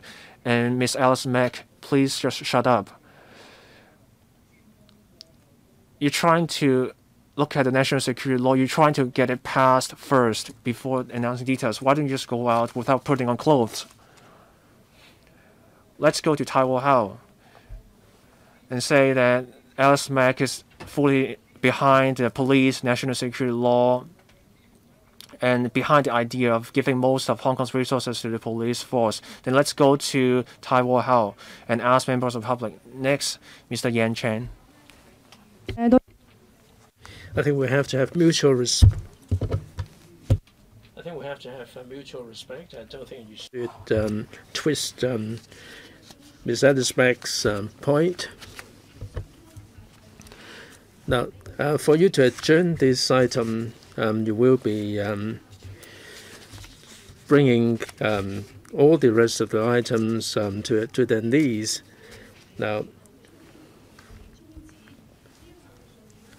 for you to move on the, adjournment motion, um, we have um, the member from Kowloon West um, showing concern about the Gascoigne uh, road flyover. If she's so concerned, um, there is uh, no reason why you should move this adjournment motion and block all the rest of the items. Those uh, who said they are concerned about animal welfare, item 7 is about the uh, animal uh, welfare uh, management and welfare building complex at Kai Tak. Now, we were just about to put this to the vote, and, and you move this adjournment motion. Uh, what is your motivation? I don't think you should impute a bad motive to other members. We are saying that uh, we we shouldn't um, resort to this um, to resolve the problem. I think uh, for you to adjourn now, the item today, the only consequence is all the rest of the items, animal man management and animal welfare, building, Gascoigne road, um, noise enclosure, they will be a goner. And if uh, we, we put it to the vote, uh, we, we better do it uh, now. Administration? Chairman, if I may um, um, make a response in brief the 3RS is going to be very important to the aviation hub um, in Hong Kong. As um, the passenger and cargo volumes increase, um, the 3RS uh, will be uh, needed. All these uh, facilities that we are talking about today uh, will uh, certainly upgrade the security of the 3RS. Members mentioned um, land uh, resources. We know that um, the land resources are very precious. We have to make a suitable arrangement. We are, in fact, moving in this direction in our planning. As to the um, costing, we give the undertaking that we will monitor the the um, construction uh, to make sure that it's going to be a no frills project and we can entrust um, the, the facilities to the airport. National security law, uh, members seem to be conflating the two issues. The administration has responded to this. The whole purpose of this project is um, for the sake of the aviation hub and for the, for the construction of um, the 3RS. Uh, Mr. Tam, uh, one minute. I, I, don't need it. Uh, since you're in a rush, uh, we better put this to the vote. Um, let's uh, ring the bell for five minutes for division.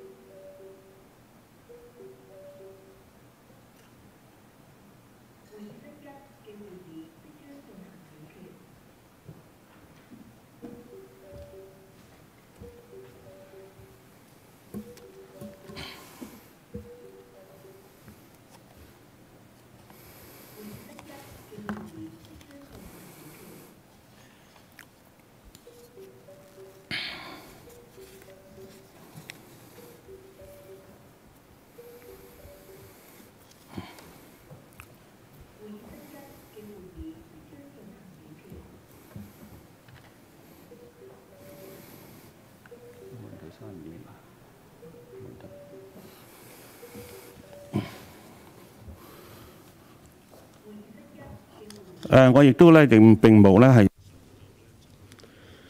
I have not received any uh, 32A uh, motion without notice. I'm not going to um, entertain any 32A uh, motions. So after voting um, on this adjournment motion, I'll be uh, putting the item to the final vote.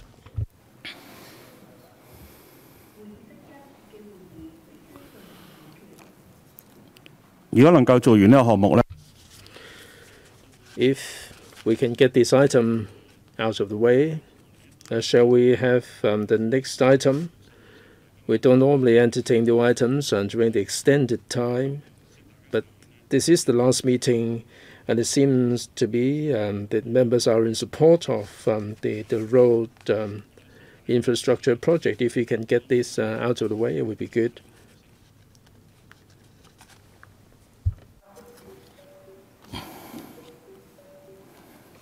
Uh, Will members please um, stop shouting in their seats?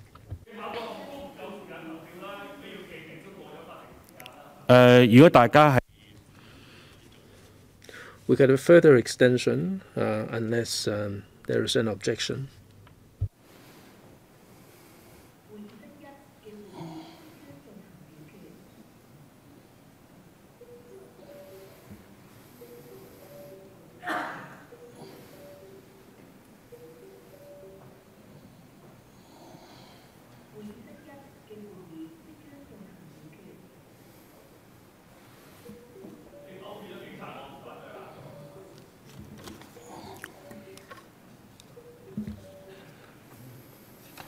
位而家要 Members, we're voting on uh, Mr. Jeremy Tam's motion to adjourn the discussion of this item.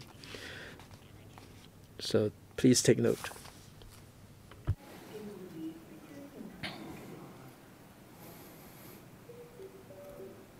好，而家进行表 Will members please proceed to vote? Before I um, end the voting, please check your votes. This is um, an adjournment uh, motion. All done? All right, voting now ends. Let's display the results.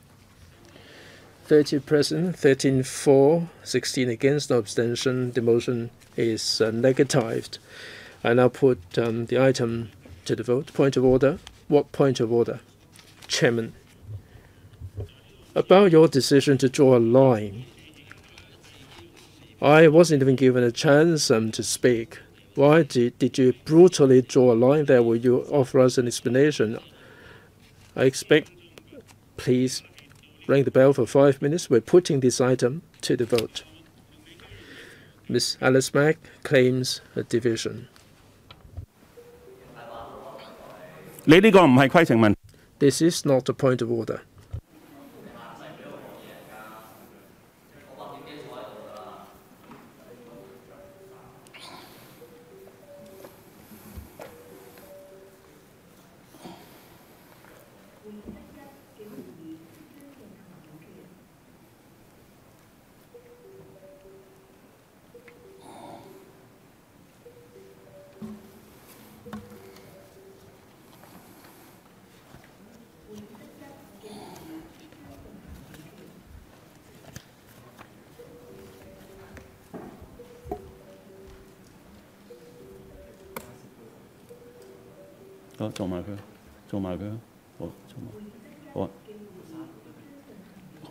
做完呢個之後，我我問大家意見，好。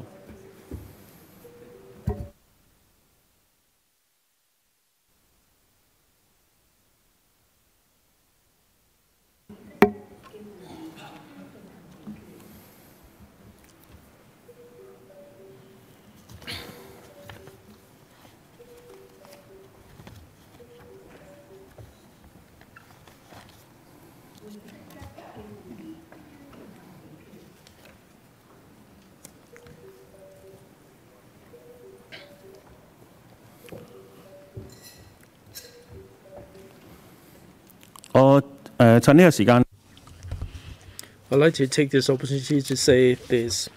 After this item uh, has been voted on, uh, whether in favor or against, I hope the members would agree that we would um, extend the meeting a little bit further to cover uh, one or one or two more items. Uh, we have um, the council meeting at 11. Um, we can um,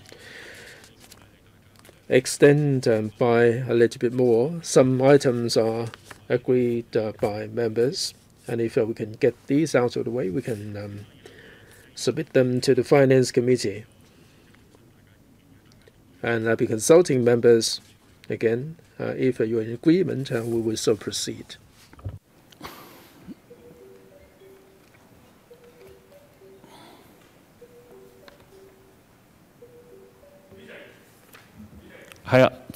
Yes, please. Mr. Chen. It is not realistic uh, for you to say this. There are three conditions. First, you don't uh, ask members. Second, uh, you don't uh, have any division, and you don't have the item singled out for separate voting. Well, even if you endorse the item, you can ask for separate voting at the Finance Committee. It depends if members are in agreement. If you don't claim division, then we can uh, proceed uh, faster. And if uh, we can extend a little bit further, we can um, get more items out of the way. Ms. Alice Mak, Chairman, I hope that uh, you would deal with uh, the next item, the Tai Wo Hau um, footbridge. Um, people have been waiting for an awful long time. Uh, yes, members are in support of this item. I heard that. There are members who, who mentioned uh, their support for the library extension.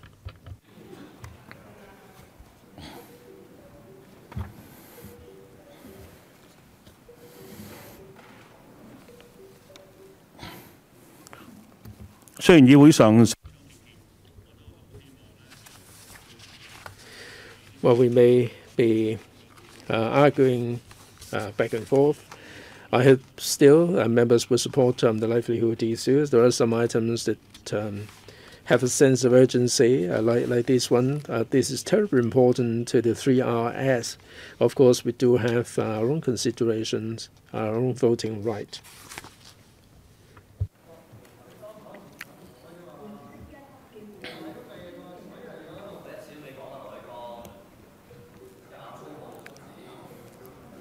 诶委员嚟到按掣。Well, if you press the button, uh, you get the floor to speak, but you didn't press the button. 诶点样控制自己？It's entirely members' prerogative um, to decide uh, when to speak. I'm acting in accordance with um, the, the rules of procedure. We are uh, voting on PwC 2020 to 21 um, 1. Before I uh, bring the voting to a close, uh, please check your votes. Voting now ends. I display the results. 30 present, 16 in favor, 13 against, no abstention. Does any member um, insist on uh, separate voting at the FC? Uh, Mr. Wu? Are you all in agreement that uh, we extend um, the meeting a little bit further to cover as many items as possible? Now we're on to um, the second item.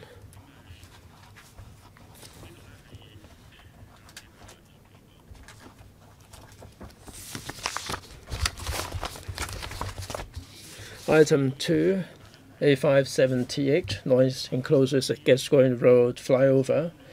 A53TH widening of Castle Peak Road, Castle Peak Bay, 850TH New Wang Tong River Bridge, and 190TB retrofitting of escalators for footbridge across Castle Peak Road, Kwai Chung near MTR Tai Wo Hau Station. Exit B, PWSC, paper 2020, number 6. This is um, to um,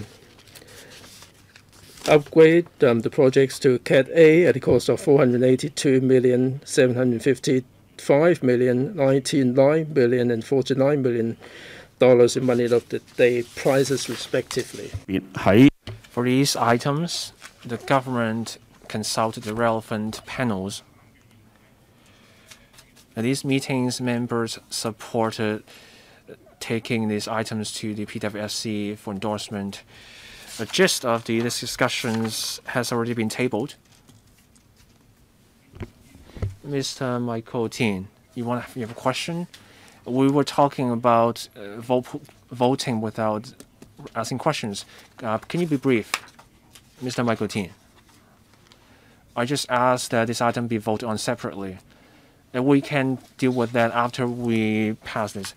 Members who are in favor of this item, put up your hands, please.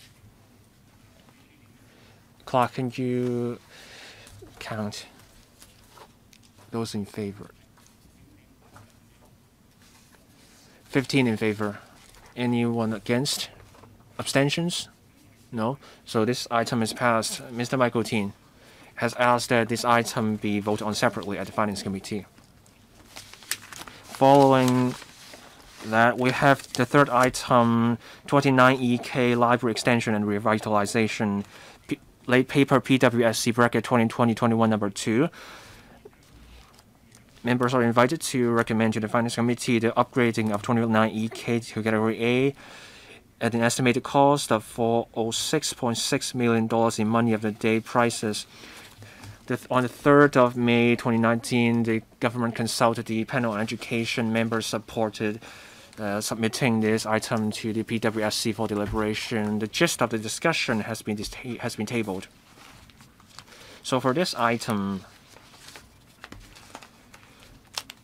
so members are generally in favor, so no one's asking questions. We'll put this to a vote. Members who are in favor, put up your hands, please. I see almost everyone. 13 in favor. Those against? No objection, no abstention. This item is passed.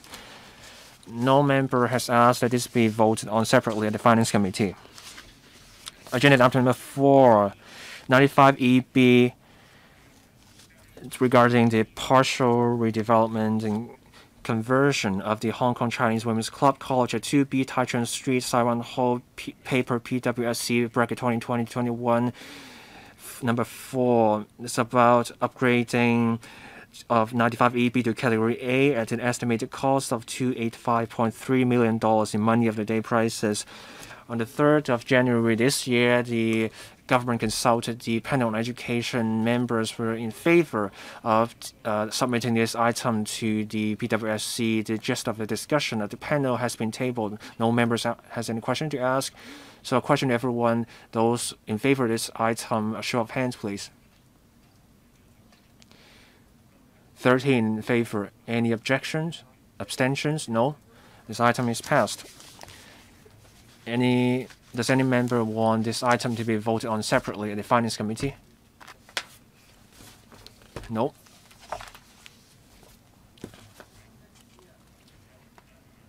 Mr. Jeremy Tam, I have a suggestion. If you're getting started with item agenda item number five, I know members have many questions to ask. How about we jump over to item six?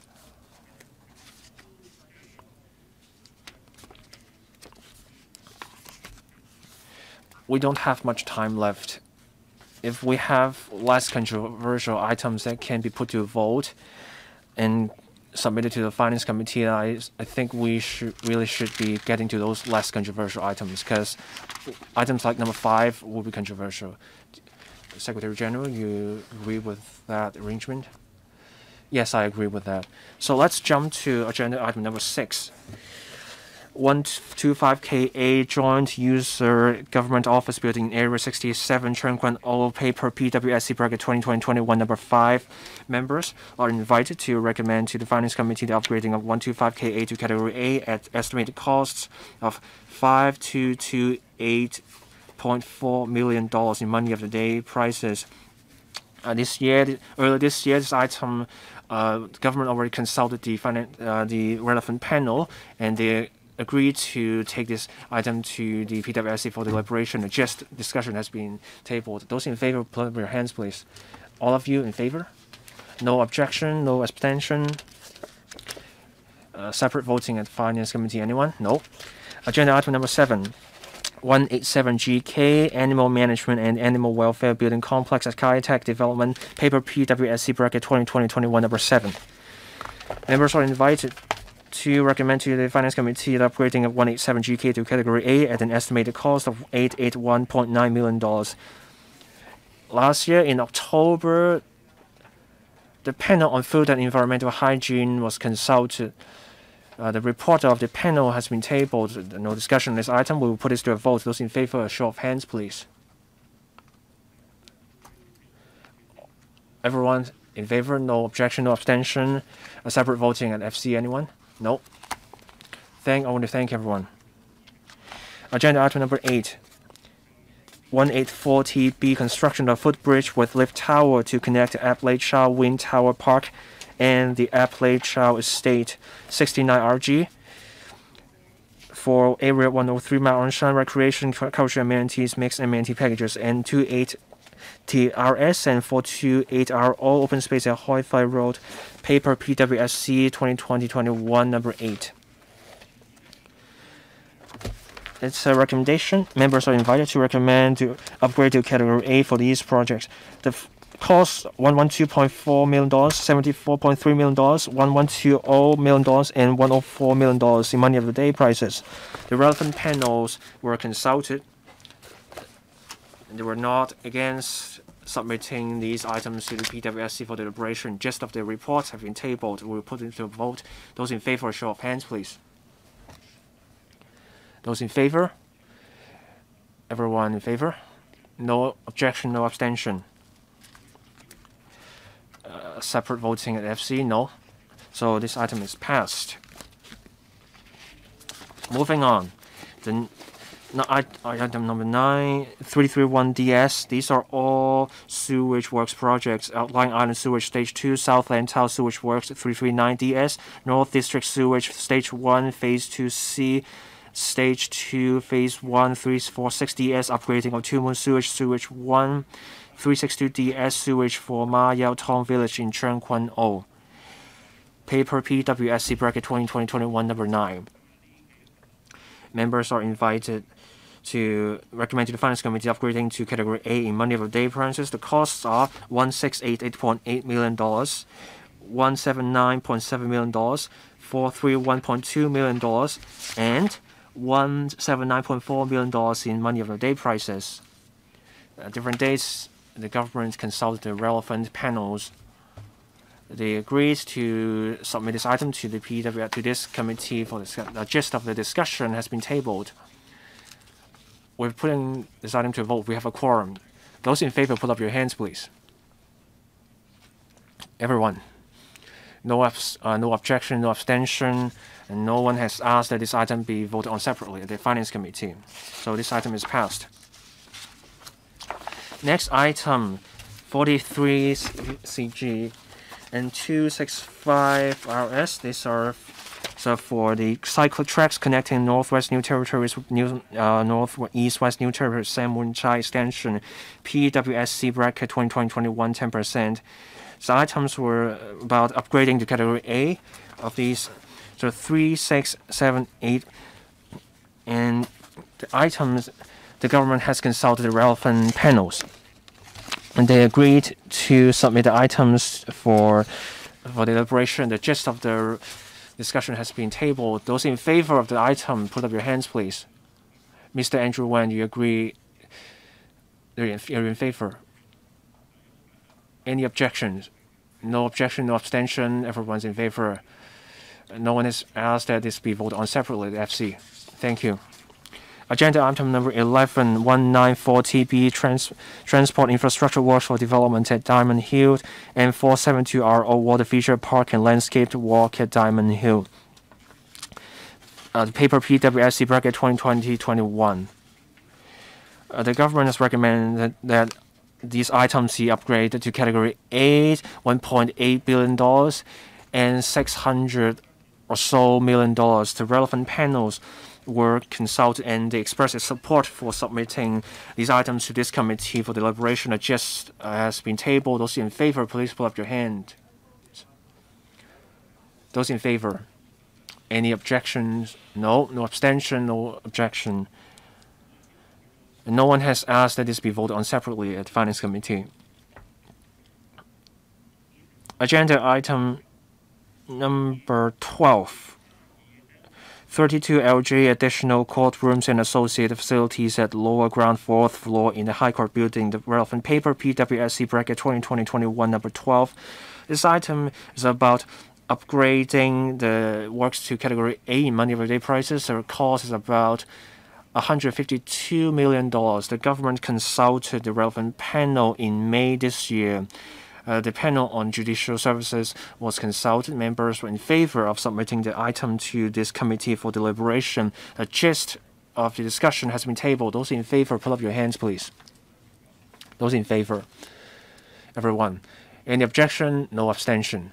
Everyone's in favor. No one has asked that this be voted on separately at FC fine. And we have agenda item number three, four, four, four RO Lei Yue-Mun Waterfront Enhancement Project, construction of a public landing facility, and 409 RO Lei Yue-Mun Waterfront Enhancement Project, development of a waterfront promenade and related improvement works. The paper PWSC bracket 2020-21 number 13 It's a recommendation of rec uh, upgrading the works to category A, $164 million and $130 million respectively. On 25th of May this year, the government consulted the relevant panels. Members were in favor of submitting the items to this committee for deliberation. A gist of the relevant reports has been tabled. Those in favor, show of hands, please. Five. We'll just have the quorum. Everyone's in favor, no objection, no abstention, and no one requested this be voted on separately at the FC. Thank you.